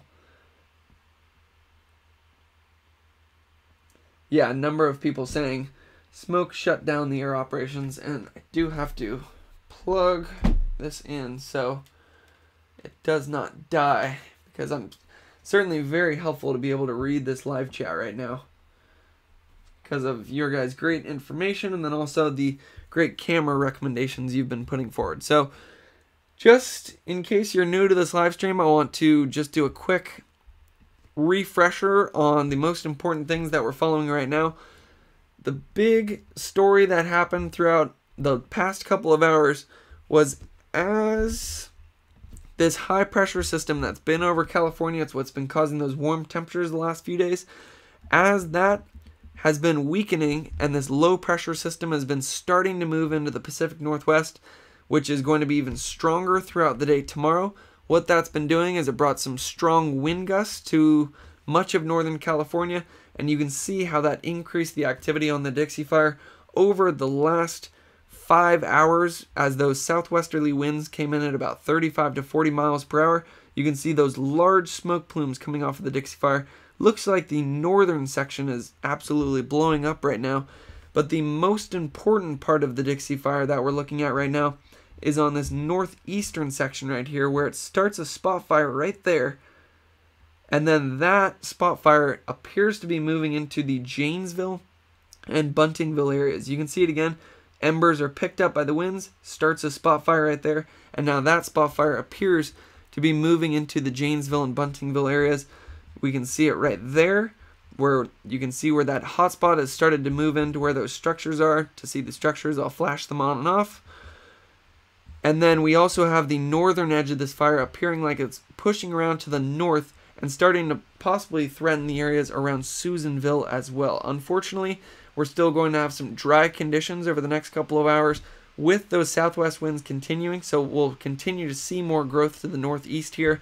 Big thing that I want to point out is that there have been a large number of new evacuation orders, including, I believe, the entire area of Janesville. I think we can actually click in there. Evacuation order, immediate threat to life. This is a lawful order to leave now. The area is lawfully closed to public access. So that's been the big update. I put the link for this in the description below where you can find out all the most recent information for the evacuation orders.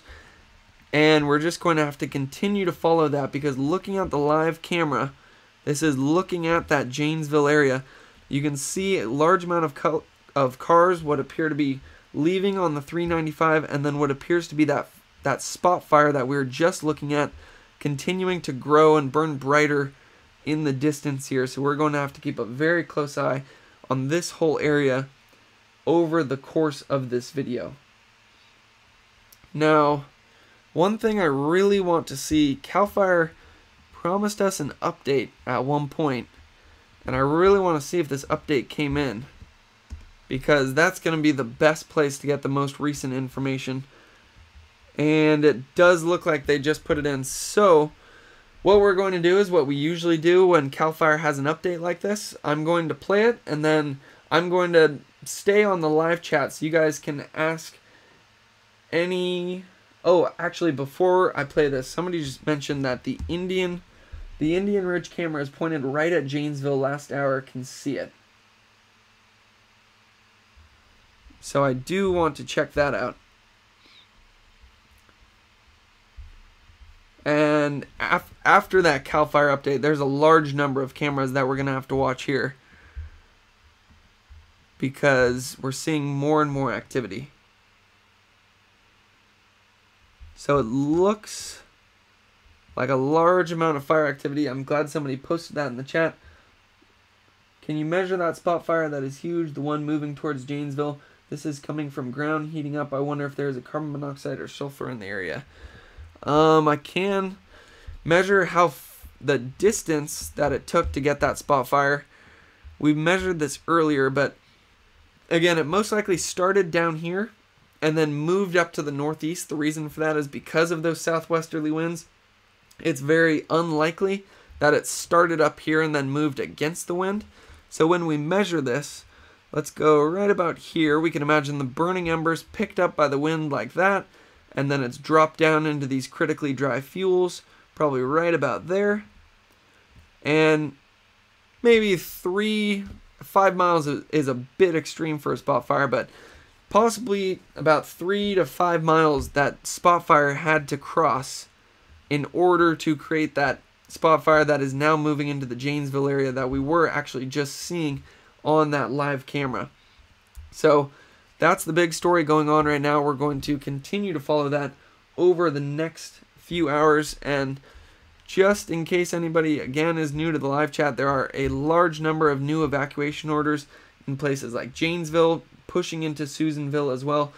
But the best thing that we can do right now is watch this update to see what their what Cal Fire is saying about the current situation because it certainly doesn't look like the situation is good. It looks like it's about as bad as we've seen on the Dixie Fire, minus maybe the at the peak of when the fire was moving into Greenville.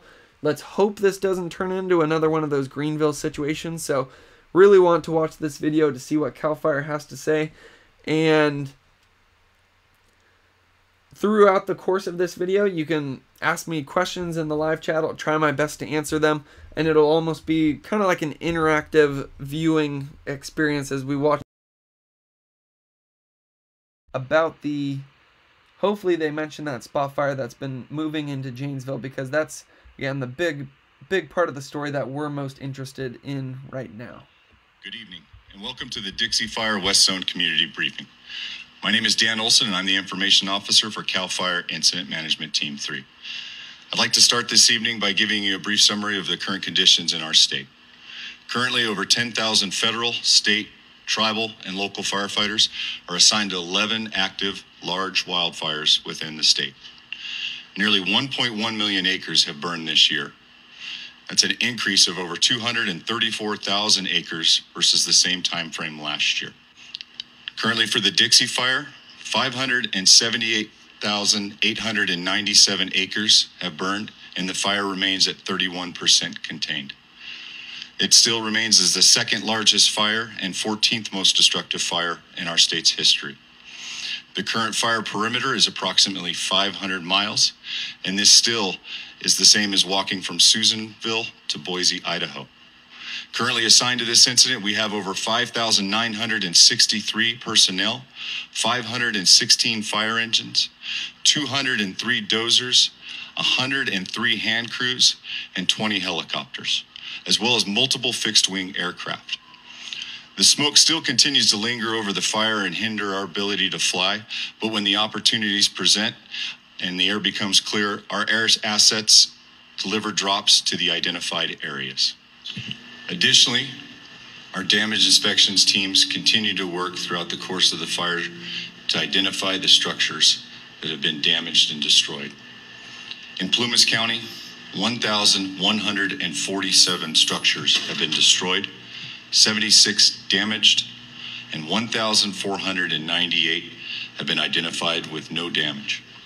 In Lassen County, three have been destroyed, zero damaged, and two with no damage. In Tehama, 30 structures have been identified as destroyed, five damaged, and 62 with no damage and saved. Overall, 1,180 structures have been destroyed on the Dixie Fire. 81 have sustained damage, and we continue to be happy to report that 1,562 have no damage and have been saved. Again, these inspections are ongoing and the numbers are subject to change.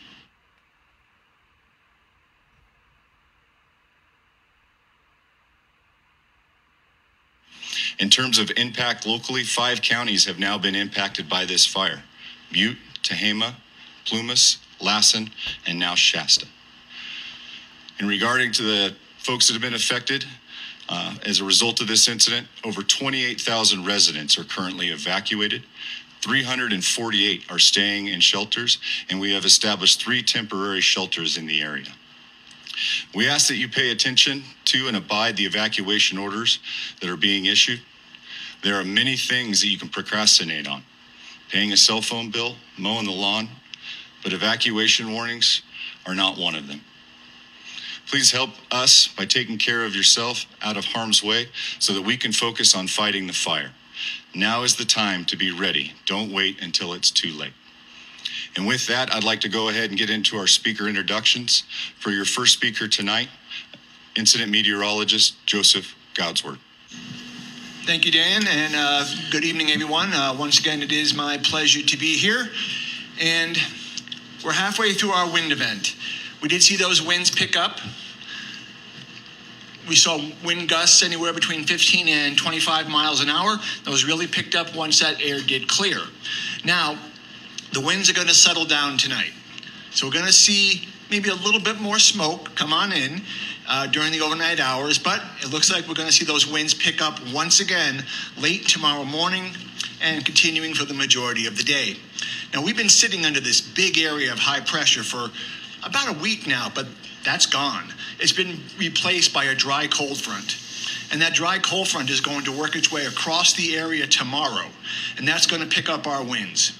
So once that smoke does get on out of here by late morning, we're thinking look for those southwest winds to pick up. We're thinking southwest winds around 15 to 30 miles an hour, and it could be gusts as high as 40 miles an hour, especially on the ridge tops and any part of the mountains that are exposed. Winds may be a little bit less in the valleys, but you're still going to have that wind channeled, and that could also uh, raise those wind speeds a little bit in those areas as well. It's not going to be quite as hot, but it is going to remain quite dry. So, with that in mind, the National Weather Service offices nearby have issued a red flag warning for a good part of tomorrow, meaning we could see increased fire behavior and a critical fire weather pattern is in place.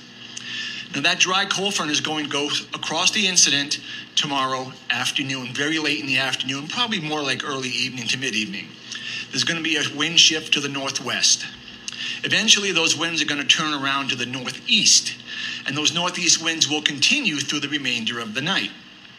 That'll keep the uh, wind speeds a bit on the elevated side, more than they usually have been at night, maybe say 10 to 20 miles an hour through the nighttime hours, and those northeast winds will stay in place during the day Wednesday, but we are going to cool down probably a good 10 degrees on Wednesday from what we're going to see tomorrow. So, a quick summary gusty northwest winds, excuse me, gusty southwest winds tomorrow, turning around to the northwest, and then eventually the northeast, and then hopefully things will quiet down starting Wednesday afternoon. I thank you for your time. Thank you, Joe. Our next speaker is fire behavior analyst Brian Newman. Okay, good evening. So, across the fire today, because of this increase in wind speed that we saw and the uh, lifting of the smoke, we did see an increase in activity across the fire. Uh, starting over on the very western edge of the fire, over in the uh, Morgan fire area, uh, we had this is very, very steep terrain with very thick fuels out there. And so we had uh, material roll down the hills and allowed the fire to grow today, aided by that uh, fresh wind coming in, increasing the wind speeds across there and increasing the fire behavior associated with it. So that uh, is progressing to the north and east up into the uh, towards the national park area there. But uh, that's one of the areas that we saw some increase in activity today. Coming across into the main fire area near the uh, Warner Valley area, we saw some increase in activity there as well. But overall, a lot of that just stayed within the perimeter and continued going to the north and uh, progressing up towards uh, and into the park area. Um, especially up towards the uh, top end of it and then the Lassen sector towards Highway 44. It did not get to Highway 44 today, and it did not threaten the lines as much as uh, we had maybe anticipated. There was a lot of interior heat in here today that really uh, got some fresh wind on it and stood up and uh, made some big columns, but it, it burned intensely, but it didn't burn quickly coming around into the in the Westwood sector towards the uh, area north of Westwood itself and north of Chester. Again, a lot of heat interior there, a lot of activity within the burn perimeter as that smoke lifted out and the wind got in there and uh, allowed it to uh, really get some activity going in there. We did see some spot fires that were thrown out to the uh, north and east, but uh, those were relatively short range spotting and they were able to be contained by the crews out there today. Uh, coming across over onto the Hamilton Mountain area, we saw quite a bit of activity in here because of the elevation, the thick, heavy fuels, and the uh, just the topography mixed with that uh, wind that really aided that fire growth today. So overall, the fire did make some progress, intense progress, but it is still west of Susanville and uh, is burning with intensity in this mountainous area here, but is not making any large runs currently. Uh, coming down a little further down to the south and the east, uh, the fire also uh, experienced some long range spotting out in this area as that wind got in there and allowed the fire to pick up in an activity, large column that you probably saw from town, a pyrocumulus type of uh, development. So I do actually just want to rewind that real quick because it's pretty crucial what he just said about Susanville right there. Key key thing to think about here is that he said it's not making any large runs towards Susanville. That would be possibly some of the good news that we were hoping for, but again, we'll certainly continue to follow the hotspots and all the updates throughout the rest of this live stream as well, just to see if that situation does change up there. But I do want to replay that to hear exactly what he was saying about Susanville to the uh, north and east, but uh, those were uh, uh relatively short range spotting and they were able to be contained by the crews out there today. Uh, coming across over onto the Hamilton Mountain area, we saw quite a bit of activity in here because of the elevation, the thick, heavy fuels, and the uh, just the topography mixed with that uh, wind that really aided that fire growth today. So overall, the fire did make some progress, intense progress, but it is still west of Susanville and uh, is burning with intensity in this mountainous area here, but is not making any large runs currently. Uh, coming down a little further down to the south and the east, uh, the fire also uh, experienced some long range spotting out in this area as that wind got in there and allowed the fire to pick up in an activity, large column that you probably saw from town, a pyrocumulus type of uh, development, and allowed the fire to spot over into the uh, Thompson Pass area. Um, and I'll let our operations chief speak about the specifics of that fire specific itself, but uh, we did experience some long range spotting because of that large column development over there. As we go through the night tonight, we expect it to calm down as the smoke settles back in and the wind starts to die down. But tomorrow, we can expect a very similar cycle in terms of fire activity with that increased wind that we're expecting to see, similar to today. And so we expect a lot of the same areas that we saw activity today to experience activity tomorrow. Our next speaker is Operations Section Chief Mark Brunton. Good evening. So we had a very active day throughout the fire, and I'll just highlight a couple of the areas uh, that uh, we saw quite a bit of uh, activity today. So uh, throughout most of the Westwood sector on the western part, uh, pretty calm, uh, pretty static. so it, we didn't have much activity until we got right here on the sector break between the Lassen sector and the Westwood sector. Highway 36, uh, we're going to be in the process of uh, doing a burn operation to tie that in uh, before the adverse weather uh, winds uh, kick in uh, tomorrow. That'll seal this up so that'll provide protection into the peninsula and west the communities of Westwood.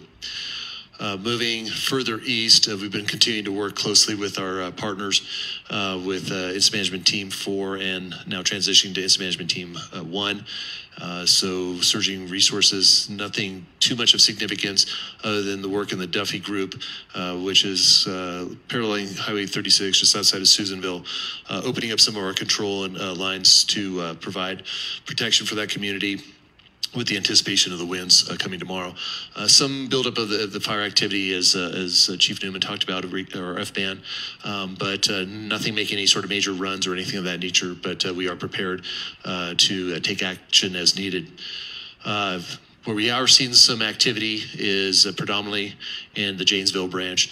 Uh, as we speak, uh, we're uh, experiencing that uh, some spotting conditions that took place about an hour ago, increase of those spots, and the fire activity. Um, we are seeing that uh, in just um, just south, basically of Janesville, 395. Uh, Cradle Valley is one of the areas in roughly south and west of Clarks Creek. So got some spots established in there. We've surged resources. Uh, we already had a plan in place and, and, stood up for structured defense of Janesville. So that's already been in play for a number of days, pre-planned. Uh, and uh, when expecting this kind of conditions, we've had resources there. As we saw the spotting, we've surged a number of resources. So at this point in time, we've sent five strike teams of engines into that area, along with a number of our heavy equipment dozers. Our aircraft are working at the best they can. Uh, right now, the conditions only warrant us to be able to work rotor wing, although it, as it opens up, we'll get some uh, fixed wing aircraft there. However, we are getting near the nighttime hours in which we cannot fly aircraft. So we're butting up against that, but we're throwing everything we can at that at this point in time. But we do have our uh, structured defense actively engaged uh, within the community. And then uh, basically evacuations have been uh, established for Milford. And then uh, just as uh, before I came up, evacuations into Janesville and further up. Um, so it's a dynamic situation uh, one that we're going to be monitoring throughout the evening. We're surging our resources to that uh, as we have as part of our plan, and uh, we will continue to do so to make sure that that community is is uh, rendered safe. Uh, as you heard from the IMET and FBAN, that uh, we're going to have some of the wind subside a little bit tonight, so that'll help us jump on these uh, these spot fires.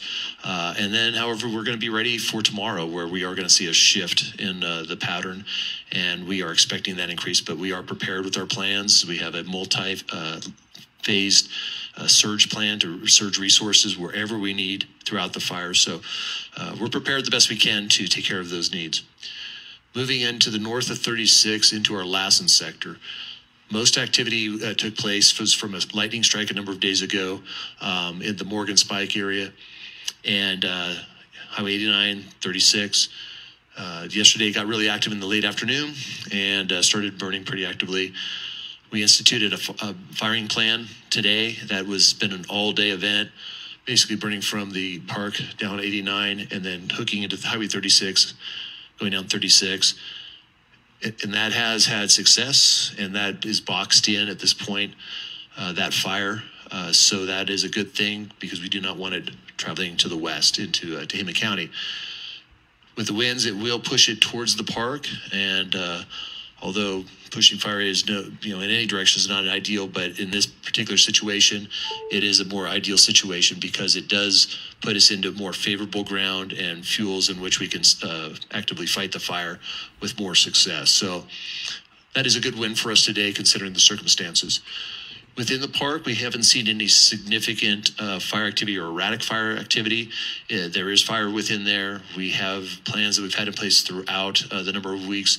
They're instituting those plans, putting those lines into play, and uh, so far we're having success for our, our objectives within the park, and we will continue to do so as we continue to surge more resources in there, and, and we've got a good plan going there along the top in Division Romeo. We've had a lot of good success, heavy mop up, lines in play, uh, no factor with our wins. And so we've had good success there. Moving into Tango, that again also is into a mop up, heavy mop up situation. Did have a couple spots outside, able to pick up. But again, with these fuels as dry as they are, and with just even a little bit of heat, even further in uh, interior, they are uh, being pushed out by this wind event. So we are uh, actively engaged in all suppression operations, whether it be active firefighting or into the mop up stage. We are flying our aircraft when we have the opportunity to do so and utilizing that tool in our toolbox to achieve our objectives and uh, complete the mission. Thank you, Mark. Our next speaker is Federal Agency Representative Jay Lusher. Good evening.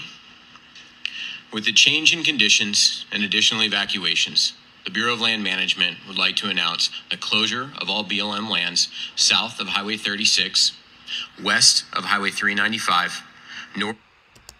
Alrighty, so now they're just getting to the closures, and since this is a pre-recorded video, I think it's actually more helpful just to look at any current evacuation warnings ourselves, just because I don't know when. It was posted 40 minutes ago, but I don't know exactly when they were talking about those closures, and as we've been seeing on the evacuation maps, there have been closures, new ones coming in almost every single time that we look at this. Just looking at their Facebook page itself, this is again the Lassen Modoc Facebook page.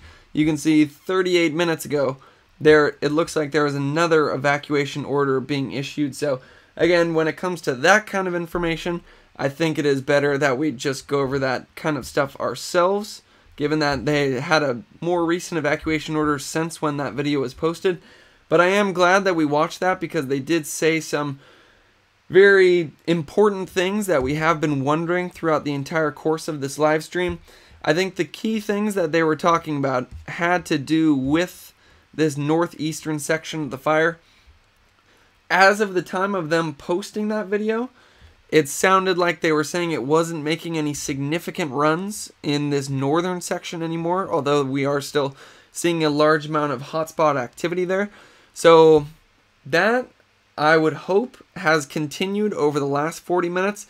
Again, if 40 minutes ago they were saying there haven't been any significant runs in that area, then hopefully that has been holding as the winds are being reduced over the next couple of hours. But I think the key area where we're going to have to continue to look Um, oh, it looks extra close to Brokoff Meadows. Where's the evacuations? Um, so again, large number of evacuation orders in place. There's the map. Let's make sure that's the most recent one. So you can just see the relative area where those evacuation orders are in place. You can see all of Janesville is in that evacuation order. That's the key one that we're going to be talking about throughout the course of this video. We're also going to be looking at some of the live cameras that show some of that fire activity that actually looks like we can even see the spot fire that's finding its way into Janesville. And then when it comes to all those evacuation orders, you can go to three best sites Cal Fire Butte County on Facebook, Plumas County Sheriff's Office, Cal Fire Lassen Modoc, or you can always go to the links in the description. I post all those links in the description. Good one to go to is Dixie Fire on InciWeb, and then go down to the bottom of the page, and it has related links and it has all kinds of useful information where you can find out pretty much everything you need to know about this fire. The point of this video is for me to try to collect all that information and, and then be the middleman to try to put forward the most important things that we should be looking at. And again, I think the most important thing that we should be looking at is that northern section of the fire that appears to be getting closer towards Susanville. Again, in that video, CAL FIRE said it wasn't making any more significant runs up there, but that was posted 40 minutes ago, and we know a lot can change rapidly in the course of these wildfires, so we will keep a close eye and see if those hotspots get updated any closer to the area of Susanville. I believe Susanville itself isn't completely in that evacuation order yet, but honestly, if I lived up there, I would probably just be leaving as of right now, just given how much activity that we are seeing. When it comes to my feeling about wildfires, I always just try to trust my gut, and if it seems like things are not looking good, better just to pack up and get out of there. But where we do see those evacuation orders already in place is in that Janesville, Buntingville area. So what I want to do is actually check out the camera footage. See, that one's not showing too much right now, but we were seeing it on Alert Wildfire. This is the Indian Ridge camera if we want to see where that camera is. Looks like this one is down looking up through the Taylorsville area. So let's turn it on. You can see it. This is a 15 minute run. You can see that activity on that ridge line up there. They zoom in at the very end, so we'll have to continue to watch that Indian Ridge camera as it looks like the activity is picking up right there. But the key one that we're that we were looking at for the spot fire that appears to be moving into Janesville started with an I believe it was Shaffer Mountain right here. So let's go let's go 1 hour because as right as it turns into nighttime or the camera goes into night vision, you can see lots of cars appear to be leaving on Highway 395 and then you can see where that spot fire is in the distance and where that fire activity appears to be moving into the Janesville area. So certainly not what we want to be seeing right now when it comes to our wildfires. Again, just to remind you what we're looking at right there appears to be this spot fire. You can see it's right on the western edge of Honey Lake right there. If we look at where that camera is pointed, you can see it's pointed directly towards the western edge of Honey Lake right there. Janesville is does appear to be in the path of that camera, but then we also have Litchfield and Standish right there. Just playing it again, you can see that at about an hour ago we weren't seeing that fire, or maybe it just needed to shift over there. Just a small amount of fire activity, and then it does appear to be picking up over the last hour. Looks like, again, lots of people leaving because of the evacuation orders that are now in place. So this is certainly going to be a camera that we go back to throughout the entire course of this live stream. And wow, so since we, we were looking at this camera before we watched that CAL FIRE update, and looking at it now, we're seeing much more of that fire activity than we were seeing earlier. So especially in this is an hour long time lapse, it appears in the last 30 minutes it's starting to flare up even more. So what I want to see is if I believe this updates automatically, but I want to see if we force it to update. Looks like those heat signatures are the same. Sometimes this is the best way to see how that heat signature is doing. Let's go to the satellite imagery. Once it restarts, key thing I want you to look at is this northeastern section right here. You're going to be able to see the spot fire start right there, and then it starts to take off to the northeast. Again, that's mostly being fueled by the strong southwesterly winds we have continuing to push this fire farther to the northeast. And I mean, just looking at this map right here, that is, I would say, the worst that we've seen the conditions on the Dixie Fire, just given how large of a hotspot that is on the north, and then the fact that we had that spot fire in the exact place that we did not want a spot fire to happen. We've been talking about this area of the Dixie Fire for about a week now. And over and over again, we were following this. We'll turn on the fire perimeter here. We were following this, and the key thing we were talking about is how we had the sheep fire burn scar right here from 2020. And right there, you can see that kind of crisscross pattern shows you where the Dixie Fire is. I could zoom out so you could see it better.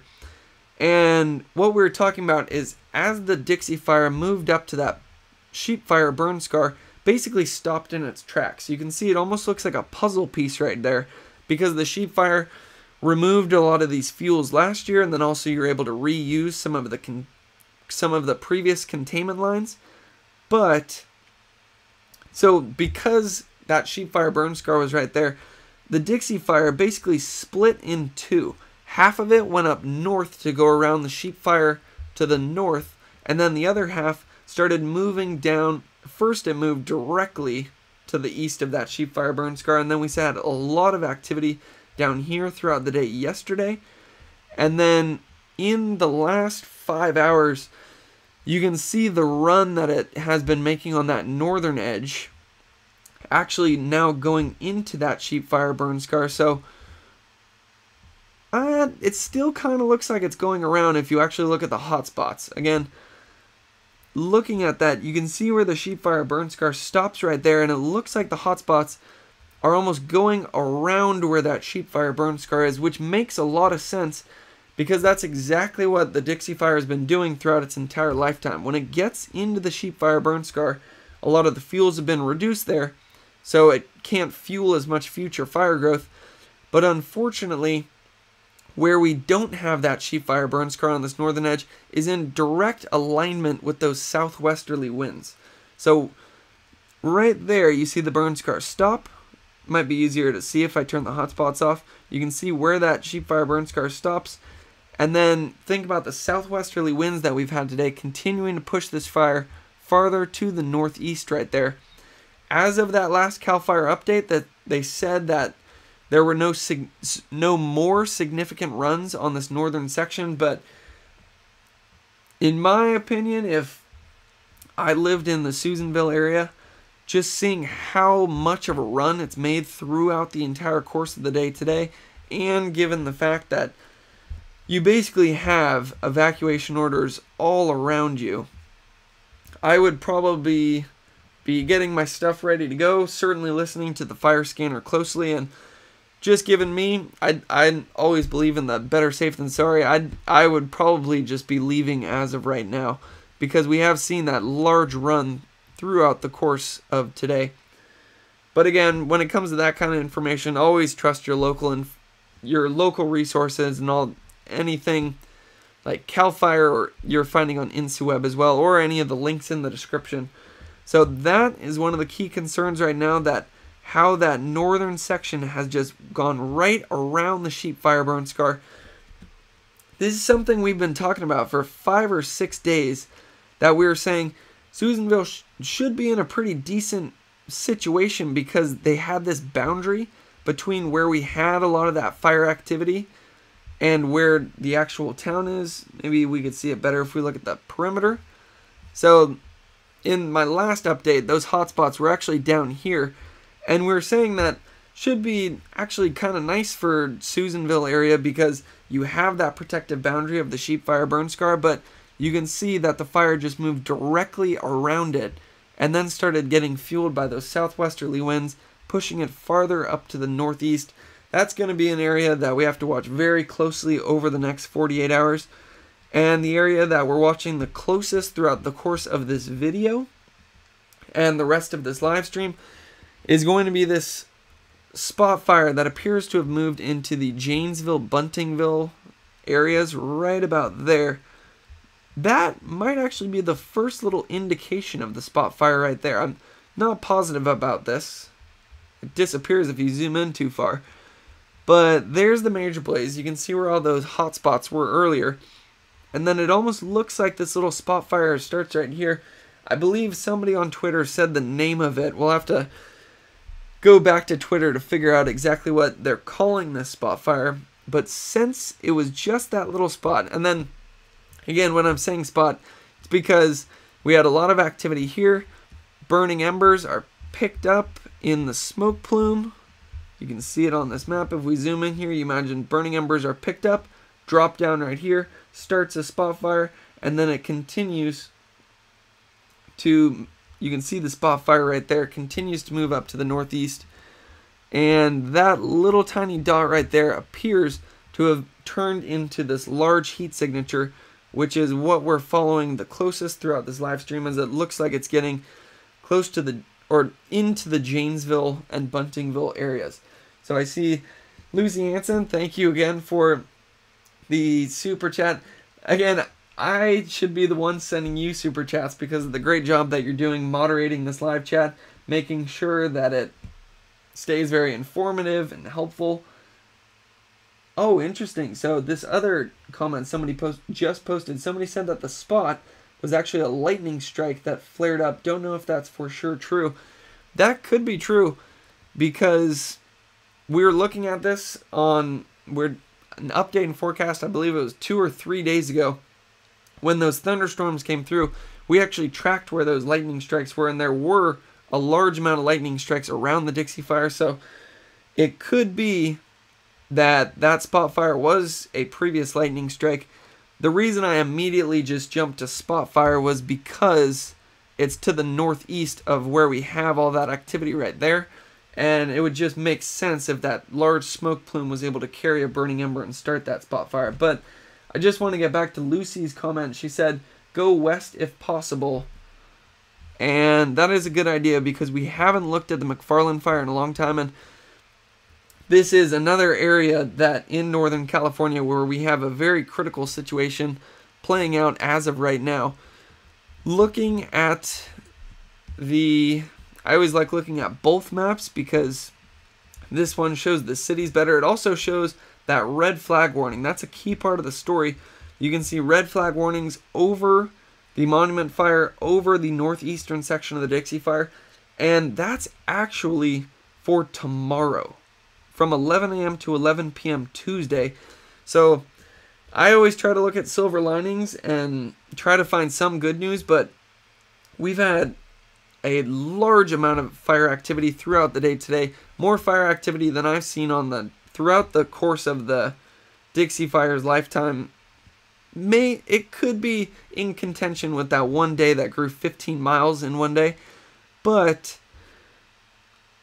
we have it appears we have even more critical conditions tomorrow as that red flag warning comes in. So we are going to have a lot to follow over the next 48 hours. So again, going back to the McFarland fire here, you can see that large pyrocumulus cloud that was coming off of it earlier today. And the reason this is such a key area to watch is because on this southeastern section where we have those hot spots, you can see where Junction City is, you can see where Weaverville is, and then you can also see where Hayfork is down to the southern edge. Now, if we look at the CalTopo map, I'll go on the perimeter just so you can see that it, this is the Monument Fire we're talking about. We go to the live hotspots, it looks like those hotspots have moved into the Junction City area. So we're going to have to try to find some more recent information on that area. We, it also looks like some of those hotspots have moved into the Burnt Ranch area, so we have to find some recent information there. And then the big story, it ties into that red flag warning throughout the day tomorrow. We're going to have some 35 mile per hour wind gusts blowing in from the north tomorrow. So that's going to pose some danger for the Hayfork area because we have a large amount of activity right on the southern edge of that fire.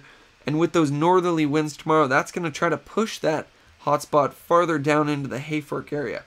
Now, the other area, again, Junction City and Weaverville as well. With all that activity we're seeing throughout the day today, that's going to be an area that we have to keep a close eye on. I wonder if they've done any updates here. It's always hard to find information about this one. Looks like it's officially over 100,000 acres, so that's a big update since the last time we looked at this fire. Let's see if they've done a good update here. Last night, Monument Fire was extremely active on all flanks, predominantly to the southeast. Um, this was posted 11 hours ago, so I'm actually not going to read that because you can see how much activity we've had in the last 8 hours, so or 11 hours, so whatever they're saying in that update is most likely different than what's currently going on where we see those large hotspots in the area. So we're just going to have to continue to try to find the most recent information there. Again, I put the links in the description for all these different InciWeb pages. And the best thing to do is just go down here where it says related links. A lot of times there's great information down there about all the various fires. But next thing I want to do is just look at all the various live cameras we have going on. We'll replay this one. This is looking over the Janesville area to the west of Honey Lake where you can see what appears to be a large amount of cars leaving the area, evacuating on 395 as that fire activity appears to be moving in on the horizon. So I believe I see in the live chat somebody posted Daniel Firecopter just tweeted that the fire near Janesville is called the Farm Fire. He is showing Shaffer Mountain Cam with it. So this is the Shaffer Mountain Cam right here. And you can see that large amount of activity that appears to be picking up in the last hour. And before we look at more of these cameras, we are going to be looking at a lot of these cameras. You can see Antelope Mountain. This is one we were looking at earlier. It looks directly over Susanville. And actually, I want to look at this one right now. Because earlier, it was hard to tell if what was off in the distance here was structures, the sun setting, or fire activity. So, I want to look at the last hour to see if we can answer that question because that's going to be this will be a critical camera to continue to watch when it comes to the possible dangerous situation developing in Susanville.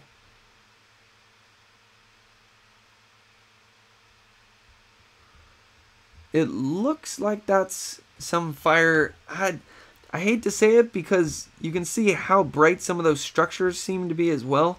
So it's hard to tell if that's actually fire activity or if that's uh, yeah, it's hard to it's hard to say on that one.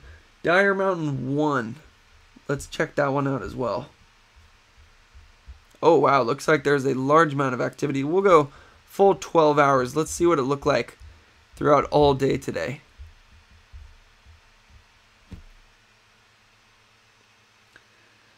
And while this is playing, it looks like it's mostly just smoky conditions. Can we recall recall the drought? It would be certainly nice if we could. About, I believe, 85% of California is in that extreme drought category. Seems like every time they update, there's more of California getting into that exceptional drought category. And that's a big reason for all the wildfires that we have going on right now that it's critically dry fuels at the San Jose State Fire Weather Research Laboratory. We have been recording some of the the driest fuels that we've ever recorded. Again, we actually go up into the mountains. Oh wow, this live camera. You can see that large smoke plume right there from the Dyer Mountain 1 camera. And then as we transition into night, you'll actually be able to see where that fire activity is a bit better than during day. Let's see if I want to see if we can see that activity. It might be better on the 15 minute. Yeah, so large amount of fire activity picking up in the Dyer Mountain area, and it almost looks like it's three different spots. It's right there, there, off in the distance there, down in the foreground here. So kind of sporadic fire behavior going on. And Trish, another great comment from, actually, you know, Trish has been posting a lot of great comments. So, just to make it easier on both Lucy and White Dove in the future, I'm going to add Trish as a moderator as well. Because you have been posting a lot of great ones. I'll try to keep my eye out for anybody else that I can add as a future moderator as well. Um, so I also notice people mentioning Twitter. That's always a great place to get information and I do actually like to show my Twitter feed throughout these videos because I only follow wildfire accounts. So usually my Twitter feed is just a constant stream of the most important information. So that one right there, this photo is taken on 395, about 7 miles south of Janesville. It would be interesting to see an actual photo from Janesville right now because it certainly looks like the fire activity has moved in there. So Daniel Firecopter, I believe somebody was mentioning this exact tweet in the live chat. So you can see, seems like the farm fire is heading straight tor straight towards for the Dixie fire. It looks to be up the hill on cams. There is extreme fire activity on the Dixie fire from the north to the east. That's basically what we've been talking about throughout the course of this video. Zoom out a little bit. Caldor fire, that's um not actually going to look into that one yet. I think we have enough to talk about when it comes to our various actually I do want to see where that is because if that's a spot fire or something from the Dixie fire that would be very important to look at. Let's see if it's on InciWeb yet.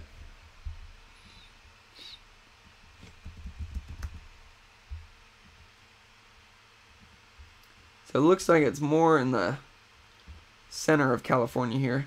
Looks like it's up to over 2,000 acres, but again, the developing situation is for the Dixie Fire, where, again, if you're just tuning in, we have large amount of evacuation orders around the Dixie Fire, Janesville area, Buntingville area. Looks like those evacuation orders are starting to work into the Susanville area as well. So very critical situation going on right now. Seems like every time we upload the CAL FIRE Lassen Modoc unit page, there seems to be another evacuation order in place. So going to be very important for anybody who lives in these areas to stay updated with all the local resources. I try to put as many of those links as I can in my description. I'll try to find even more recent links and put them into the description before my next update and forecast video again tomorrow. But what we were looking at that was helpful was Twitter here. Um, right there, this is technically an update and forecast on all the various fires, so that is actually a perfect snapshot showing everything that's going on. Dixie Fire, 580,000 acres. McFarland Fire, 70,000 acres. Monument Fire, that was the big news today. It is now up over 100,000 acres. River Complex 44, Antelope 55, Caldor now on the list at 2,000. And then CA Fire Scanner. That's sometimes one of the best place, places to get recent information. Looks like there might be some new evacuation orders for the McFarland Fire. I'm sure there are some new evacuation orders for the Monument Fire as well. We're seeing both of those have a large amount of activity over the last five hours and Dixie Fire Plumas radio traffic quarter acre spot fire with slow rate of spread across US 395 just south of Honey Lake Rest area. Additional resources from outside the incident have been dispatched with the address given. So fire has crossed the 395 again at Hicks Road. This is the spot or New Start near Honey Lake. That's the question. Dixie Fire AA is reporting the fire south of Janesville is approximately 800 acres now, still moderate to rapid rate of spread, and aircraft are now departing for the night. So that's a key. That's exactly why we go to Twitter to try to find recent information because that's exactly what we were interested in finding out about the Dixie Fire over here. That spot fire on that northeastern section. Right now, or that was an hour ago that he posted that tweet. He said it's 800 acres and it had a rapid rate of spread. So if it was 800 acres an hour ago with rapid rate of spread, you can imagine it's even more now. And you can see how that hotspot has been going into the Janesville area. We are actually looking at that on the Shaffer Mountain camera. Seems like every time we reload it, the fire activity seems to be picking up. So I don't want to be too repetitive, but when the situation is currently changing as fast as it is, you almost have to continue to keep re-uploading the exact same resources because it is telling us exactly what's going on. You can see, actually I'll pause this just so everybody can see that. Let's go hybrid here. This is looking directly towards Janesville, right on the western edge of Honey Lake, which is directly where we have that spot fire right there. You can imagine the camera is probably right there, directly looking at the western edge of Honey Lake right there. So we can see that spot fire in real time if we look at the last hour.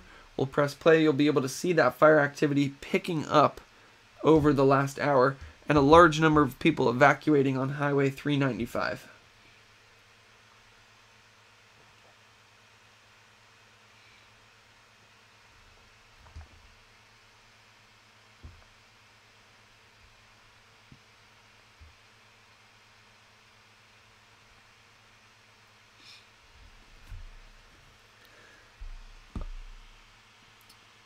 Oh man. So that is that's why we keep re-uploading this page is because it seems like every time we upload it, we're seeing that hotspot grow and grow. And we're just going to have to continue to keep updating that because certainly certainly does not look good. You can see it how small it appears to start and then, oh, it does look like the camera zoomed in a little bit, so that does make it seem even worse. So take that into account. It wasn't that the fire actually grew that much. It, your vision might be a little distorted because they did zoom in halfway through. But does appear that there's a large amount of fire activity going on right on the western edge of Honey Lake area where we've been following that hotspot throughout the entire course of this video. Oh, notice how the power goes out on the Shaffer Mountain feed. See, that's why I love having the live chat. You guys notice things that I don't. So let's look at this again and see if we can see the power go out. So you can see what appears to be a lot of lights around here. Let's see if all those lights turn off at one point. Still looks like they're on right there.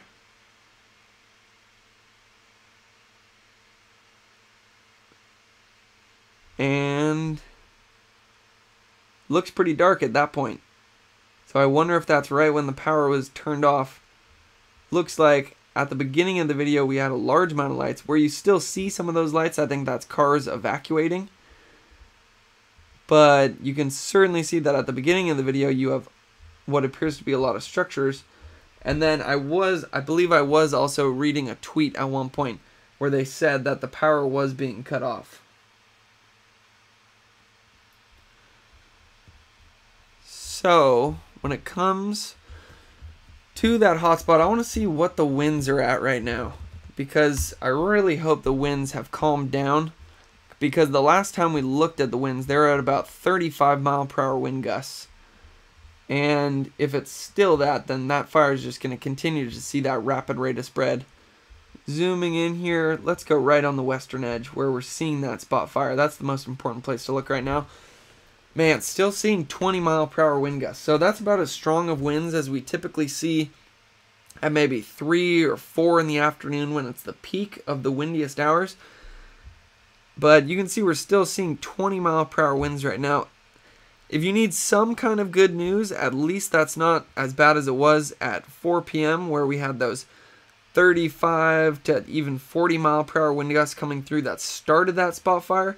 But the fact that we still have 20 mile per hour winds certainly isn't what we want to see. What I actually want to do, I want to look at actual observation stations because again, that is actually just using model information. It's the last model run. Uh, what's the link to the those live mountain cams? It is alertwildfire.com. I believe I put that link in the description. Um, but again, what I want to do when it comes to those winds that we're looking at right there, it appears that it's calmed down over the Dixie Fire, which would be some good news. Not calmed down too much. We're still seeing 20 mile per hour gusts, which is more than we'd like.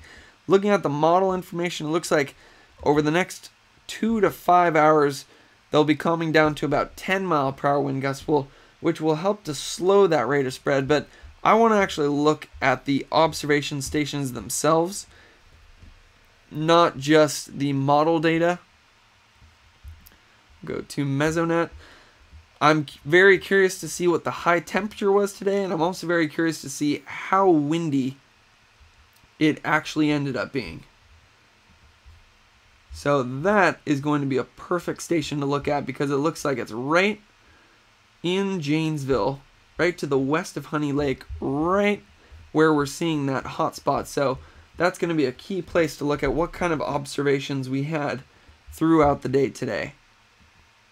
So looking at it, we'll go down. First thing we'll look at is what the high temperature was, and that paints the picture of why we're seeing such extreme fire activity. You can see that high temperature today got up to 97 degrees. Relative humidity was in the single digits at about 8%.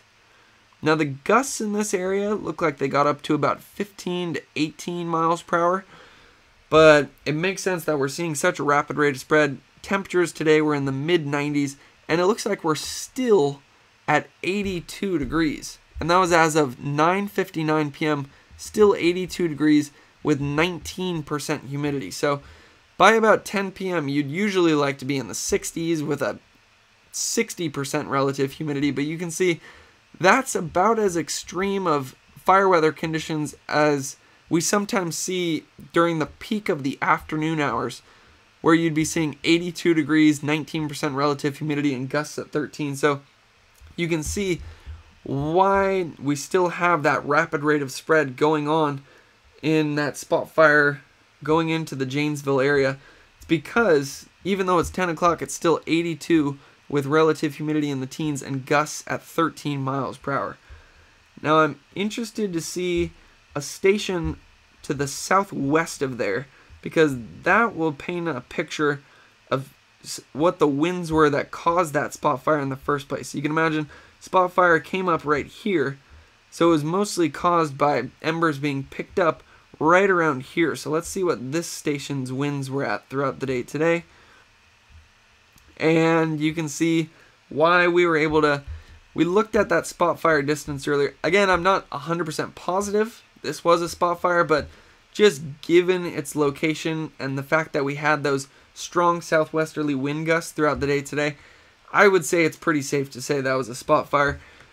But if it is, it is going to be astounding because you look at the distance between those two. And I imagine it started right around here because then throughout the rest of the day it would have been fanned up to the north as those southwesterly winds continued to push it north into areas like Janesville. Most likely didn't start up here and move against the wind. So when we look at this measuring tool to see how far of a spot fire distance that was, maybe three to five miles for those burning embers to be picked up by this smoke plume right here, picked up, thrown, dropped into some critically dry fuels, and then you can actually see that spot fire right there. That's we can actually see that spot fire develop. There's the hot spot right there. You can think the burning embers picked up in the plume, dropped into a spot fire, then it grows rapidly to about 800 acres, and that's what's currently threatening the area around Janesville. So if we want to see what those wind gusts were that were able to pick up those burning embers today, you can see we had gusts up to 31 miles per hour. Remember the other day when we had all of that activity flaring up around Lake Almanor, which we certainly still do see a large amount of fire activity around Lake Almanor and south of Westwood. Haven't talked too much about those areas throughout the course of this video just because predominant wind direction is from the southwest, so it'll act to push that to the north instead of back towards those structures in Lake Almanor. But when we saw this area really flare up the other day, it's because those thunderstorms came through, and when they come through, or when they came through, they had some 35 mile per hour wind gusts that pushed this fire down to the south. And you can see that we had almost as strong of winds today as when we had those thunderstorms coming through. So it's not a surprise that we're able to get. Again, I'm not confirming it was a spot fire yet, but it appears that that spot fire was able to come in about three to five miles away from where the major blaze was earlier. Now, one thing I will also say to back up that possible hypothesis that this is in fact a spot fire is the fact that a CAL FIRE representative was saying that in his 20 years of the service, he hasn't ever seen spotting distances as long as we've been seeing on the Dixie Fire. Big reason for that you can kind of paint the picture if you look at the satellite imagery today. We have so much critically dry fuels that when the fire gets in there, you can see the large, large pyrocumulus clouds that are happening. And because we have those huge plumes, when the burning embers get in those plumes, they're able to be carried and it actually stays very hot in those plumes. So the burning embers remain on fire and then they're dropped and that has been a major factor on the Dixie Fire throughout the entire course of its lifetime. So, again, right there, that confirms some of those strong winds that we had throughout the day today. And it looks like they should be calming down throughout the overnight hours. Certainly hope that they do. But the big story moving into tomorrow, God, I almost hate to show this map right here, but big story going into tomorrow is that we're actually going to have even stronger winds than we had throughout the day today. You can see those wind gusts getting up to 41 miles per hour tomorrow. And when they first come in, we're, they're going to come in from a northerly direction in the very upper parts of California. And eventually we'll see that shift in wind direction around the Dixie Fire. But into the early afternoon, they're still. Where are we? they're still burning from a southwesterly direction, which certainly is not what we want to see when we have those current hotspots there and all of those structures right to the northeast of those hotspots. So, looking at those winds coming in tomorrow afternoon, it is going to be crucial to follow this fire tomorrow afternoon as that red flag warning comes in. We're going to have 42 mile per hour winds with temperatures in the 80s still and humidity in the teens. But the big factor there is the wind gusts. That can lead to more spotting. That will lead to some rapid rate of spread. And we're certainly going to have to follow that closely as we do have that red flag warning in the area. If we actually want to see where that red flag warning is, I can zoom out on this map. Looks like much of the Dixie Fire is just in that fire weather watch but you can see the area that we're the most concerned about, that northeastern section, is in that red flag warning, which is taking place from 11 a.m. to 11 p.m. Not a big surprise that they issued a red flag warning when you have relative humidity in the teens and 40 mile per hour wind gusts. Guarantee you're going to have critical fire danger. And I actually haven't defined red flag warning yet. This graphic, the Sacramento office always has great graphics for red flag warnings. Oh, they just have fire weather watch at this point, but impacts, easier fire starts, potential for rapid rate of spread. And you can see gusts 25 to 35 miles per hour, minimum humidity in the single digits and teens.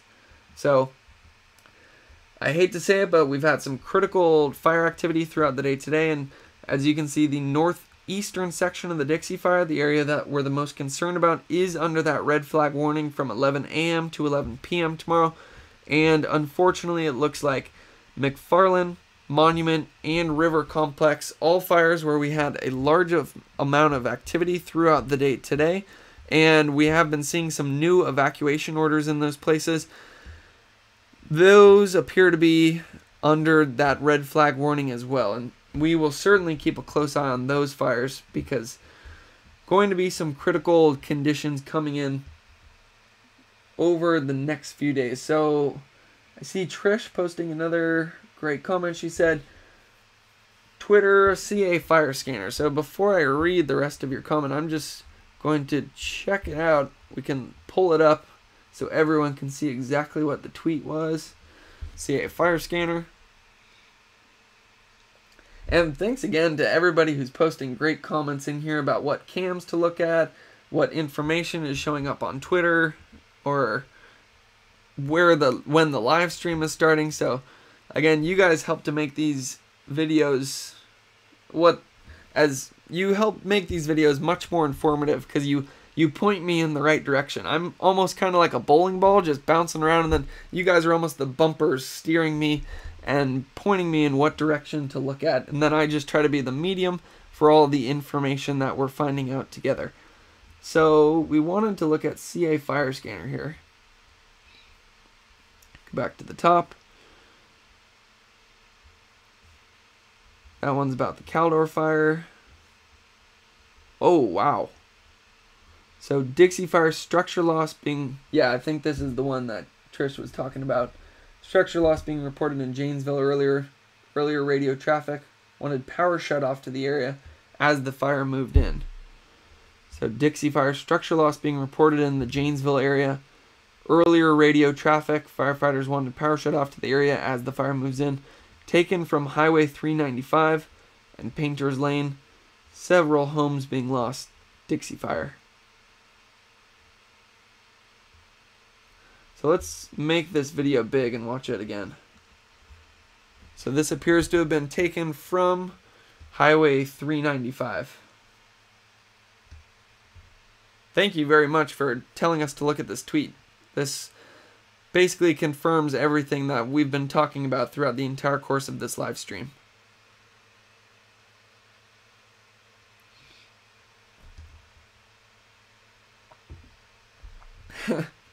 yeah, voice certainly is holding up a bit better tonight. I think it's because you guys keep reminding me to drink water. and tomorrow night, I wasn't able to ready it for tonight, but tomorrow I will try to actually take somebody's advice. I forget who it was, but they commented that honey and lemon, good thing to drink as well, so I don't lose my voice. But back to the serious topic at hand. You can see that according to this tweet, structures are being lost in the Janesville area. And God, this is just so disappointing to see because this is exactly what we've been talking about for the last five or six days about how over and over again we kept talking about how it was this northeastern section of the fire that was the top concern because it was a part of the fire where almost every single day it seemed like we were getting large pyrocumulus clouds like that. And the predominant wind direction in the afternoons is always in the south from the or almost always from the southwest. And we saw these large structure areas like Susanville, Johnstonville, Janesville, Buntingville so we kept talking about the fact that there was hotspots, southwest winds would continue to push it to the northeast, but seemed like in all our videos it was, well, those hotspots are still 10 miles away. Then it was those hotspots are 8 miles away, and you can see if it was still just the major part of the Dixie Fire, we still would be about 6 miles away. But what ended up changing the situation completely was the fact that we were able to get that spot fire that then turned into its own fire that I forget what they were calling it. Somebody somebody said it in one of their tweets and somebody said it in the live chat. I think I think it might have been farm fire. But you can see how that has been able to grow throughout the last 24 hours or actually even less than that. We can see when this started. It certainly wasn't there earlier today. We have that large area right there, and then you see that spot fire pop up right there, and then it just takes off into the Janesville area. So, very unfortunate to be seeing this video and the report that there has in fact been structure loss in the Janesville area.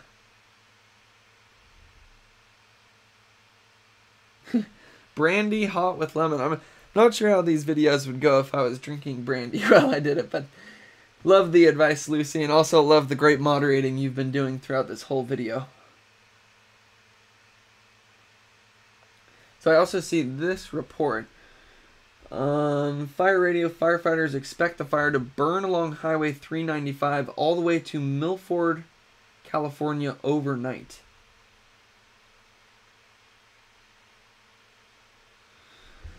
Uh, what's the potential for this fire to roll on like this for weeks to months? What is the long range forecast? Um, that's kind of a it's a hard one to answer because you guys know me. I never like to be pessimistic, but given the critical state of our fuels right now,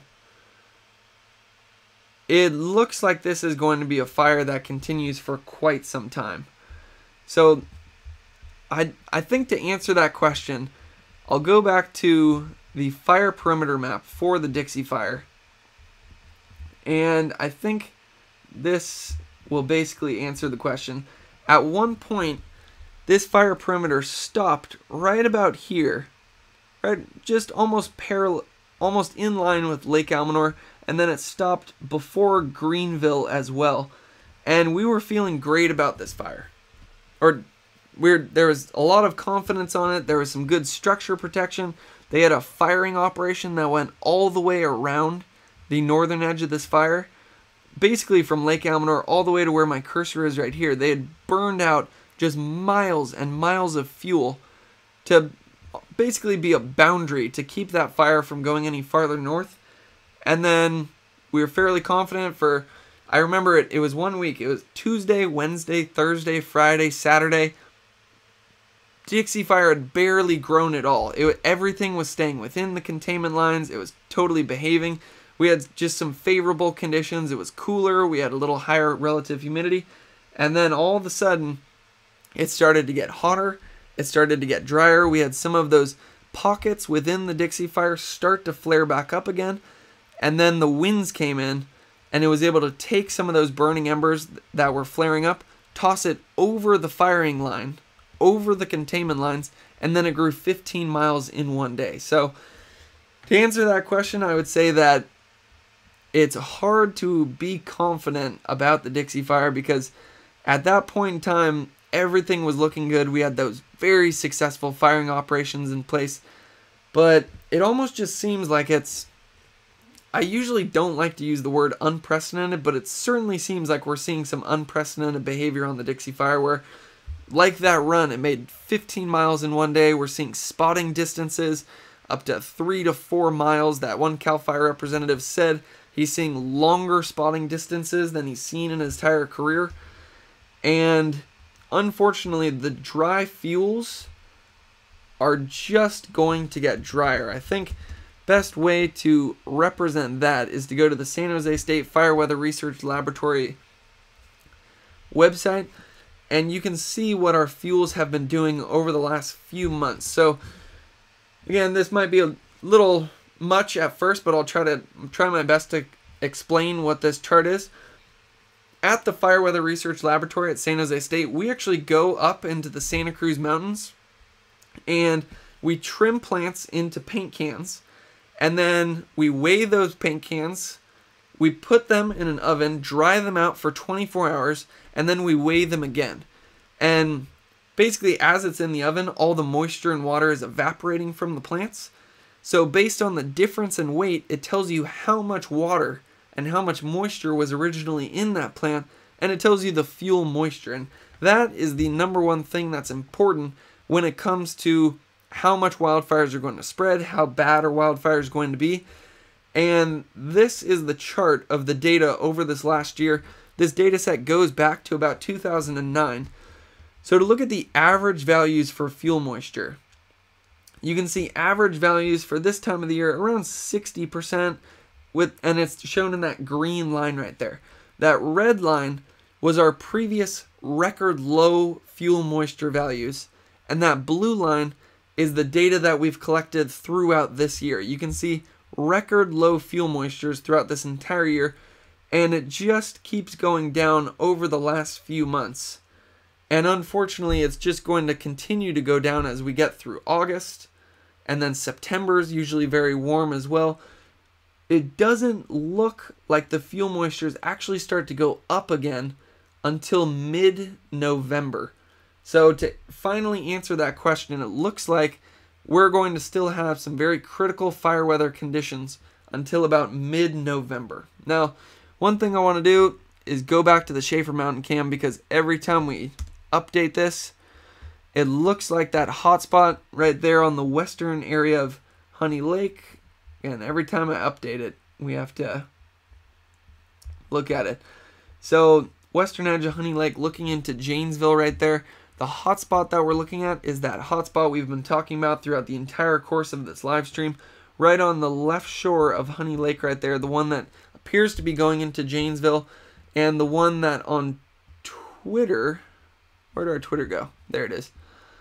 The one on Twitter, huh, Twitter is actually gone. Pulling up CA Fire Scanner.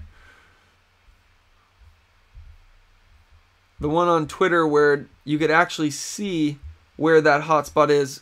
You can see it on the ground. This is showing Highway 395. And that hotspot that has come into there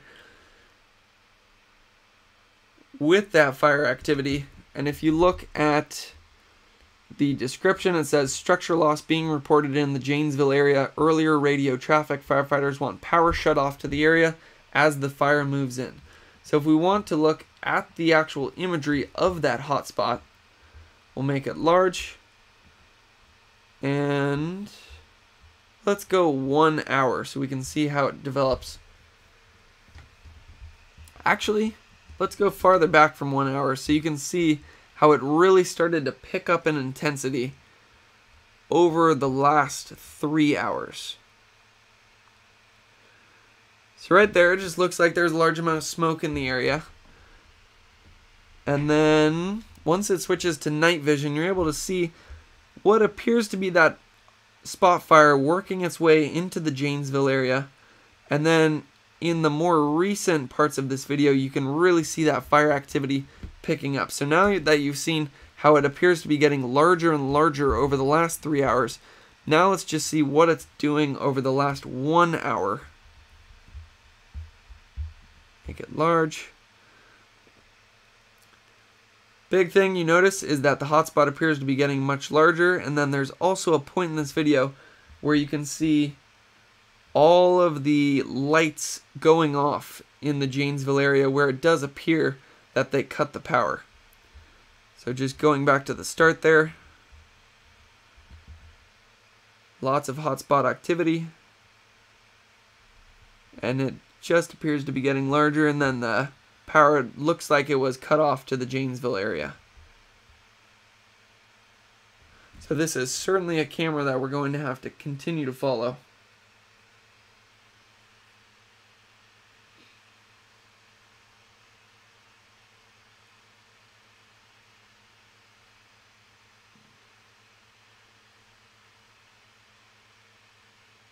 Um, so Peggy Root, I see, just said my property in Janesville Grade Road is gone. I don't know how to add photo. I have a video.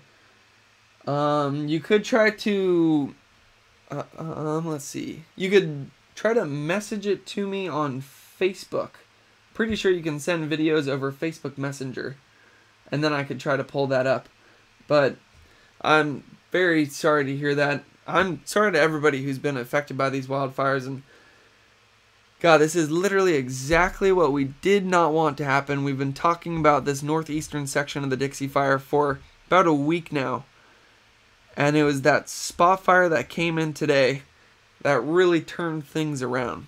Because we heard on the CAL FIRE update, actually, don't even know if I should say that. I'll, I'll just repeat it because it is true. We heard in the CAL FIRE update about two or three hours ago that They said this area around Susanville wasn't making any more significant runs, but the reason I was hesitant to say that is just based on how fast these fires are moving. I don't want to give anybody in Susanville a false sense of confidence. And if we go back to that evacuation map, you can see there are a large amount of evacuation orders all around that northeastern section of the Dixie Fire. New evacuation orders being issued seems like every time we updated the page. And I mean it it is an individual choice when it comes to those evacuation orders. Not the orders themselves. Once the order is put in place, I would say 100% get out of there once you have an order. I would say it's an individual choice to leave before they issue that order.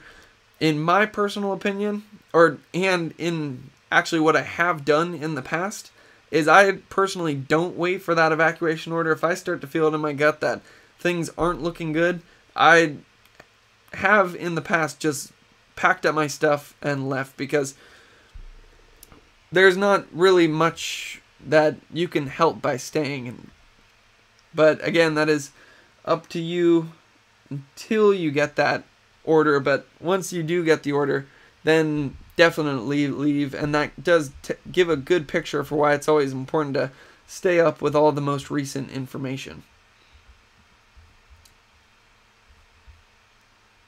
so just looking back at the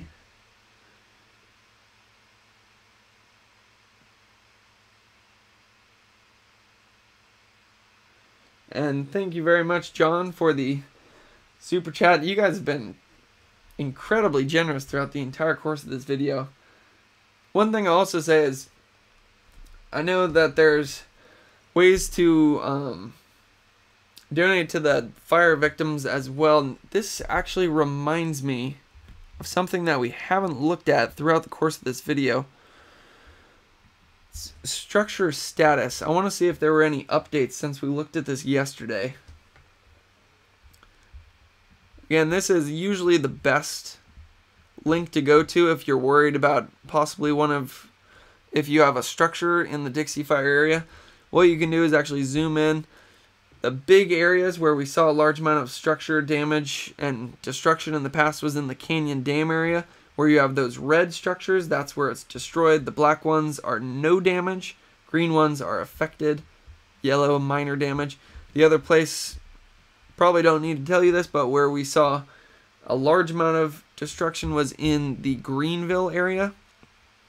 And one thing that you can do if you click the link in the description, you can actually go in here, click on a house, and it will actually show it to you. So what we are hoping right now is that Janesville doesn't end up turning into another Greenville.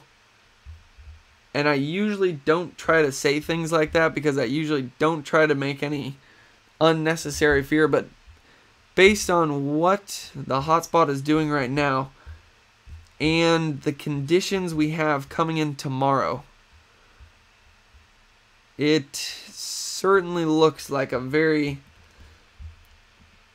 challenging situation going into the northeastern section of the Dixie Fire.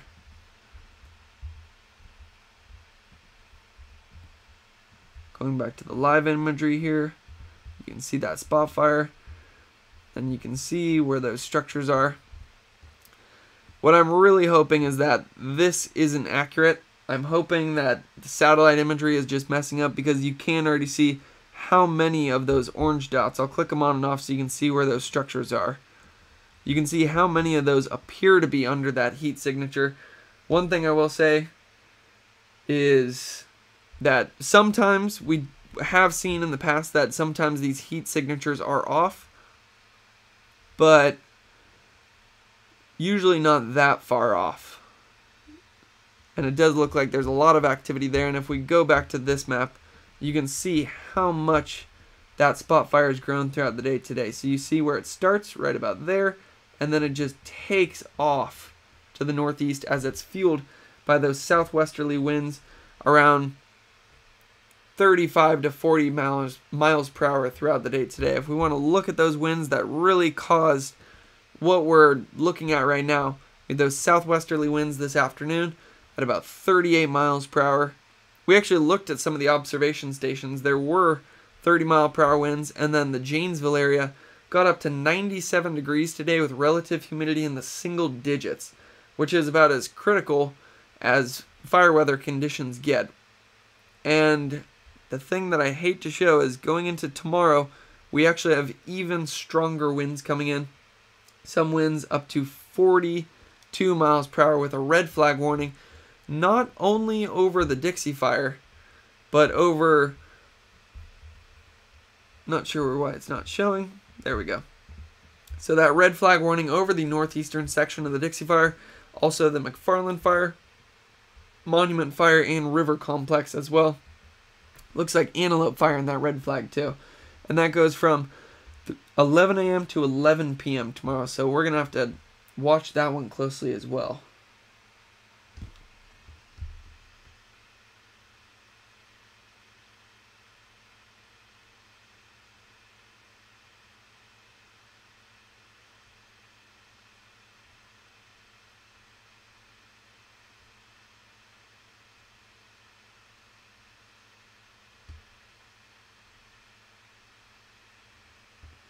Um,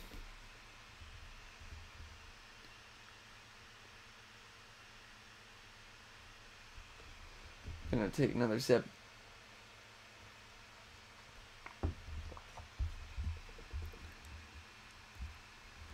So let's actually go back to Twitter. That's sometimes the best. Oh, that's also another place somebody can send me a video if you're trying to have a video played. I I also don't really exactly know what's going on in the live chat. I haven't been too good at keeping up with it over the last maybe 20 minutes. But yeah, if you are in Janesville, I would leave immediately for sure. Let's go back to home. Or let's see notifications. See.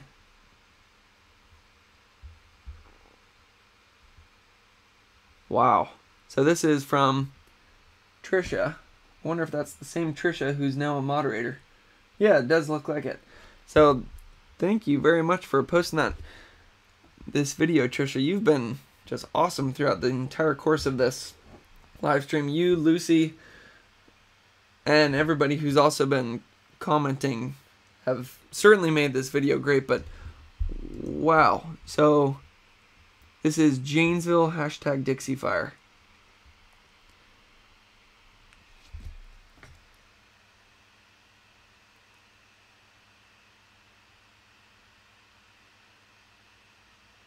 Yeah, you can see that fire really starting to come over the ridge line there. And unfortunately, that last update we were able to find on the fire moving into Janesville, they did say that it still had a rapid rate of spread, even though we were getting into the nighttime hours. Last time we looked at the winds, they were still blowing at about 20 miles per hour. And the last time we looked at the relative humidity, it was still in the teens. And our temperatures were still at 82 degrees. So we still have some almost afternoon like conditions over Janesville right now as that fire is still moving in. So let's go to home and see. Oh, actually, I want to see what the other notifications were here. Yeah, so that's just proof right there. That's a great way to send me videos, and it definitely helps to be able to actually look at videos of what's happening on the ground. See this. Actually, before we look at it, let's look at what it's saying. Time lapse of Dixie Fire at Janesville, California, near Honey Lake rest stop from 7 p.m. to 9 p.m. Oh, and this is from Kira, who is one of my fellow grad students at San Jose State and is on the fire weather research laboratory team. They actually went up to this fire today. I didn't go up to the fire because I was part of the fuel moisture crew that went into the Santa Cruz Mountains to get the recent data on the fuel moistures. So half our team was collecting fuel moisture data, half our team actually went to the Dixie Fire. But I'm actually glad that I didn't go to the Dixie Fire because if I did, I wouldn't have been able to do this update today. And I it is always great seeing those comments from people that these kind of updates are helpful and informative. So I'm glad that I was able to do this throughout the day today because has been a very rapidly wow. As you can I was about to say it, but rapidly developing situation. And you can see it in that video where the beginning of the video there's no flames whatsoever. You maybe just see that smoke plume coming over the mountains. And then from 7 p.m. to 9 p.m. today, you can see how that fire activity just comes right over the mountains. And I'm amazed that they stayed there that long.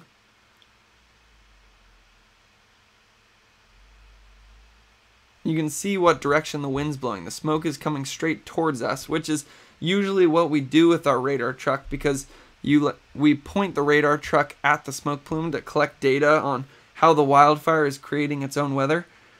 And that is just an incredible video that Kira was able to take throughout the day today.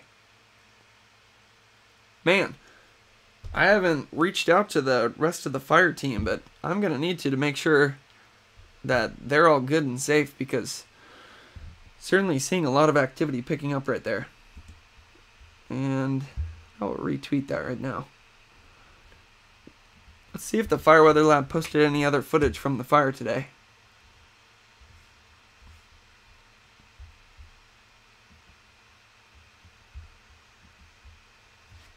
So this is our radar truck that we take into fires and you can see how it's scanning the smoke plume right there. And basically what we're doing is collecting data on the winds and how that smoke plume is moving because then we're able to incorporate it into our wildfire simulation model to be able to predict how the wildfire is going to move in the future. Because a big thing that drives how a wildfire moves is the weather that it actually creates. So this radar is actually able to collect that kind of information and incorporate it into the model But man, that's the Fire Weather Research Laboratory team right there.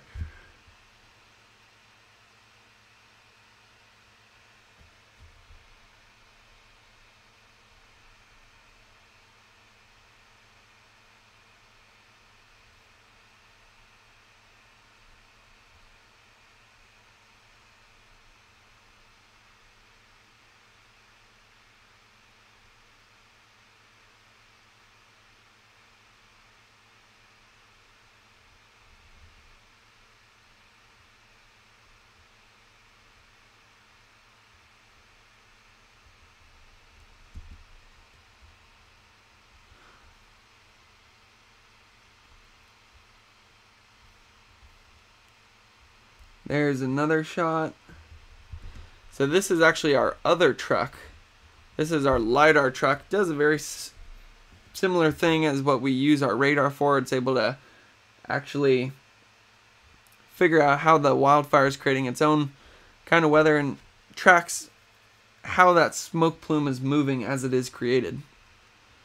There's our radar truck again. You can see the difference in the pictures that our team was posting throughout the day today. About six hours ago, just looked like a moderately smoky day. And then as we look at their most recent post, you can see how the activity on the Dixie Fire picked up throughout the day.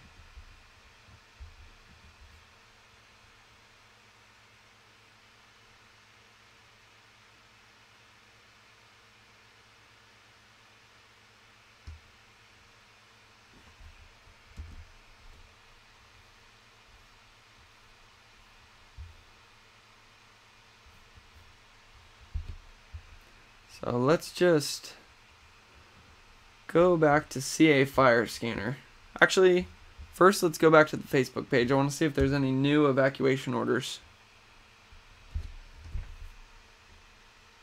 Oh, this is a new update from six minutes ago. This is going to be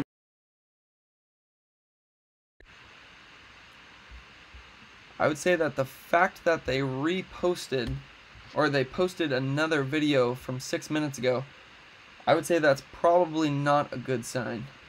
So I'm interested to hear what they have to say.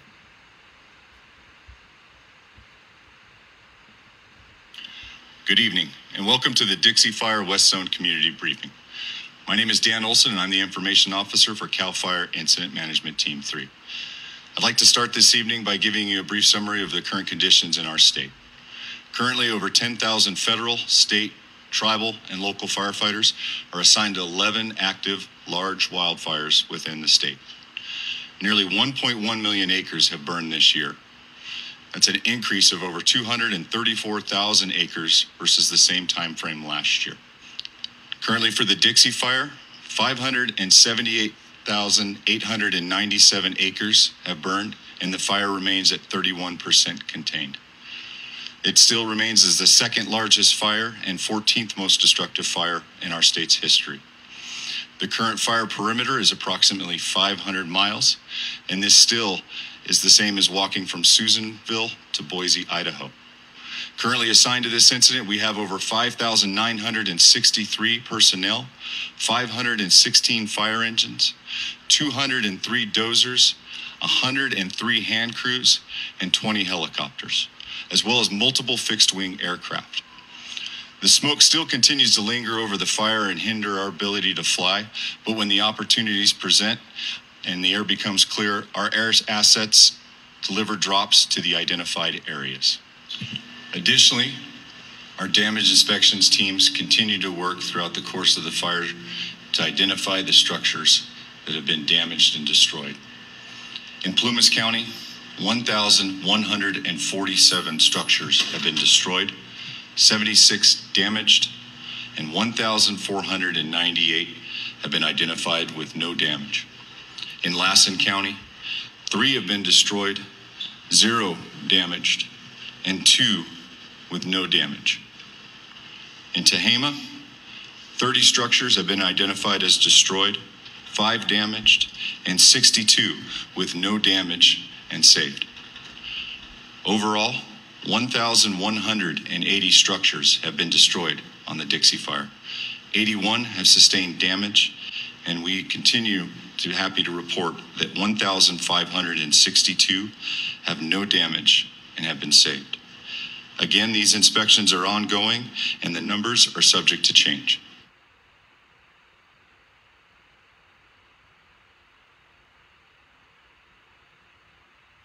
In terms of impact locally, five counties have now been impacted by this fire Butte, Tehama, Plumas, Lassen, and now Shasta. In regarding to the folks that have been affected, uh, as a result of this incident, over 28,000 residents are currently evacuated. 348 are staying in shelters, and we have established three temporary shelters in the area. We ask that you pay attention to and abide the evacuation orders that are being issued. There are many things that you can procrastinate on paying a cell phone bill, mowing the lawn, but evacuation warnings are not one of them. Please help us by taking care of yourself out of harm's way so that we can focus on fighting the fire. Now is the time to be ready. Don't wait until it's too late. And with that, I'd like to go ahead and get into our speaker introductions. For your first speaker tonight, incident meteorologist Joseph Goudsworth. Thank you, Dan, and uh, good evening, everyone. Uh, once again, it is. All right, so there's that one key line of the update that tipped us off to the fact that I think they just reposted the same video that we watched earlier. So I don't want to be replaying a video that was recorded hours ago because as we've seen throughout the entire course of this video, a lot has been changing in the last few hours. You could see that I think I think you could maybe see that best by looking at again I reposted this on my Twitter at what has happened over the last 2 hours or just from 7 p.m. to 9 p.m and they may have recorded that video before 8 to 9 p.m. So again, I don't want to replay that. What I what I'll show you is actually what this fire has looked like on the ground because you can see how rapidly it has been changing throughout the day today. You can see it starts out, it just looks like some pretty moderate smoke, and then all of a sudden the fire just starts taking off. And you see those flames coming down the hillside right there.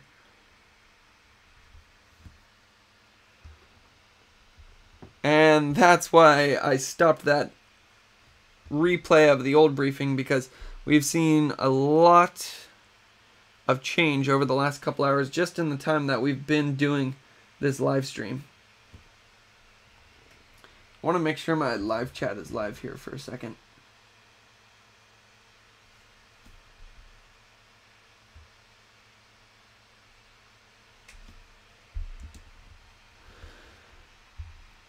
So, actually, I am interested to see if they've posted the incident update for the Dixie Fire. That's usually one of the best places to find information. Oh, they have. Alright, so this is going to be, although this is again from 7 p.m. And too much has changed since 7 p.m. for I think that to still be relevant. So, just going to go back to CA fire scanner, see if there's been anything new.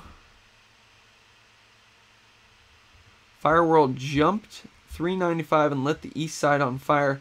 Scariest footage I've shot yet. Again, that's by Brett Forrest. Let's check it out.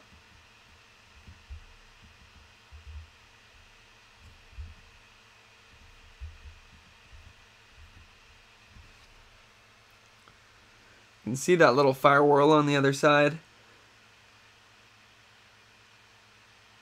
Again, this happens when you have a lot of rising air from that heat being generated by the fire, and then the wind rushes in from different directions to fill that vacuum that's been created by the rising air, and then when it comes in at different speeds, then it just starts to rotate, and that's where you start to see that circulation and the formation of a fire whirl like that.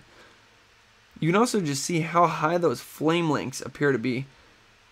I don't know how tall that tree is. You imagine that. Eh, it's kind of hard to judge how tall those flames are, but certainly look like they're tall. And I think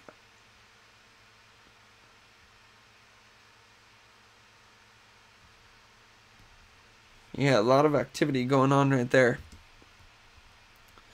One thing I'm also going to have to do is at some point reach out to the San Jose State Fire Weather Research Team to make sure they're all good. Because based on the footage that they were reposting, it certainly looked like they were in an area that had a lot of fire activity.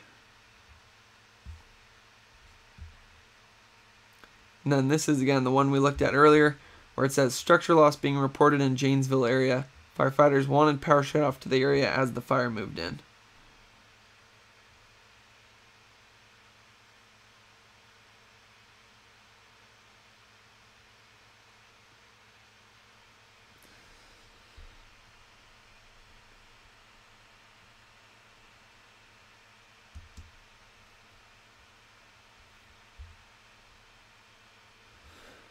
And then we have been mostly talking about just the Dixie Fire throughout this video. We've been trying to talk about the McFarland and Monument as well. There, so that is a key thing to point out there. There are some evacuation updates with those fires as well.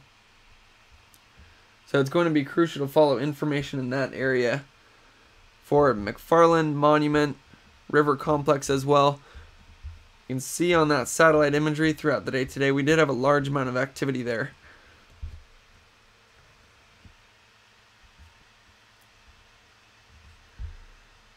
Now going back here, I want to see if this has been updated. Again, I'd say if we need to grasp at some kind of good news, we haven't seen more hotspots showing up on the northeastern section right here for Susanville. With that being said, though, again, there might be so much smoke right now that the satellite imagery isn't able to get through that thick smoke plume to figure out if there are hotspots there. So I think the key thing to think about if you're from Susanville is looking at this evacuation map. It goes basically right up to you and if it was me in Susanville, I would I would probably just leave right now because you're most likely going to have to leave tomorrow anyway, based on the fire weather forecast coming in tomorrow where where it's going to be even windier and we have that red flag warning coming in. So you might as well leave earlier than later. Better safe than sorry and don't really have a choice anymore in the Janesville area where that evacuation order has been put in place. Reason for that is that spot fire that came up here. That's the big thing we've been following throughout the whole course of this video. I'll restart this. I want to see what this hotspot has looked like in the last hour. You can see power shut off in Janesville at this point. And that spot fire coming down the ridge line. You can see how much fire activity we're still seeing on that. Last report we saw said it was still seeing a rapid rate of spread. And based on how fast some of that smoke is moving too, you can see that we do still have some gusty winds. Last time we looked at the winds, they were still blowing at about 20 miles per hour. So that's going to be an area that we're going to continue to have to follow.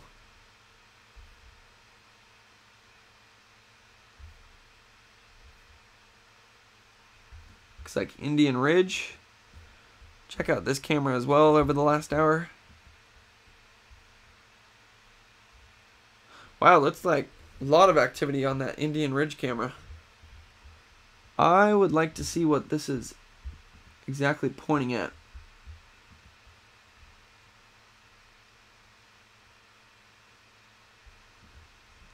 So it looks like it's pointing up in that same direction as that hotspot that popped up there.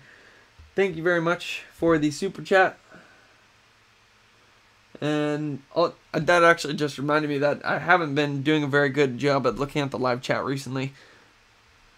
So apologies for that, but trying to think about where we can find the most recent information.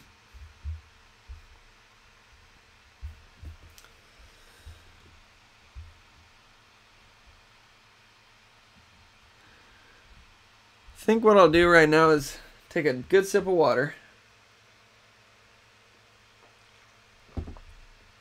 And I'll try to give a concise update on the most important things that we need to know.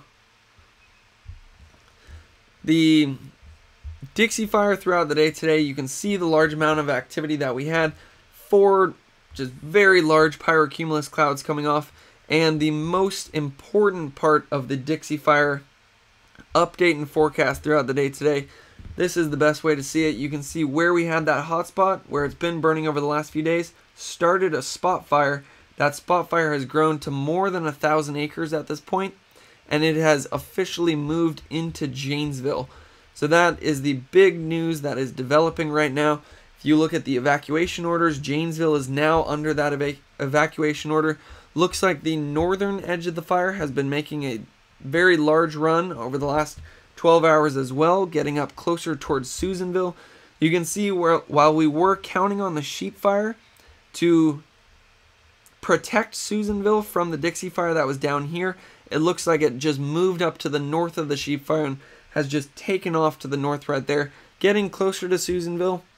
So that is an area where if I personally live there, I would probably just evacuate now because Given the fire weather forecast, you're most likely just going to have to evacuate tomorrow anyway.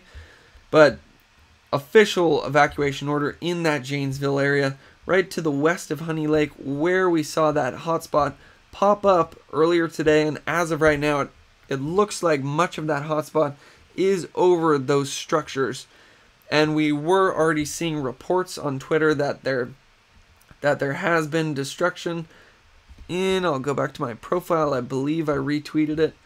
There has been destruction. No, it was CA Fire Scanner.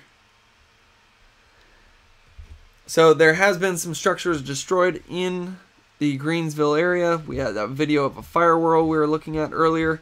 And this is the tweet that we want to see. Structure loss being reported in the Janesville area. Earlier radio traffic. Firefighters want a power shut off to the area as the fire moves in. And you can see that this, I believe, is Highway 395. And I'll make it big so we could watch it again. Where that fire and that spot fire has moved into Janesville and that evacuation order is in place. You can see how fast those embers are going, so we still have some winds. Last time we looked at the observations for the weather up in Janesville, it was still as at 10 p.m. it was still 82 degrees with 19% relative humidity and 13 mile per hour wind gusts. So fire weather conditions that we would be seeing in the afternoon hours, we're still seeing during the nighttime hours. So most likely going to continue to see some fire activity as that fire burns into the Janesville area. What I'm hoping is that they're able to get some good containment on it and it doesn't turn into another Greenville situation. But even more, what I'm hoping is that everybody in this area was able to get the evacuation order and was able to get out safely. Because last I checked, we still had zero deaths on the Dixie Fire, certainly knocking on wood there. But it does look like a very challenging situation developing in the overnight hours as of right now. Now, when it comes to the Dixie Fire, you can see that we are up to about 580,000 acres and we're just going to have to continue to follow that one closely over the next couple of days because there are some very challenging weather conditions coming in.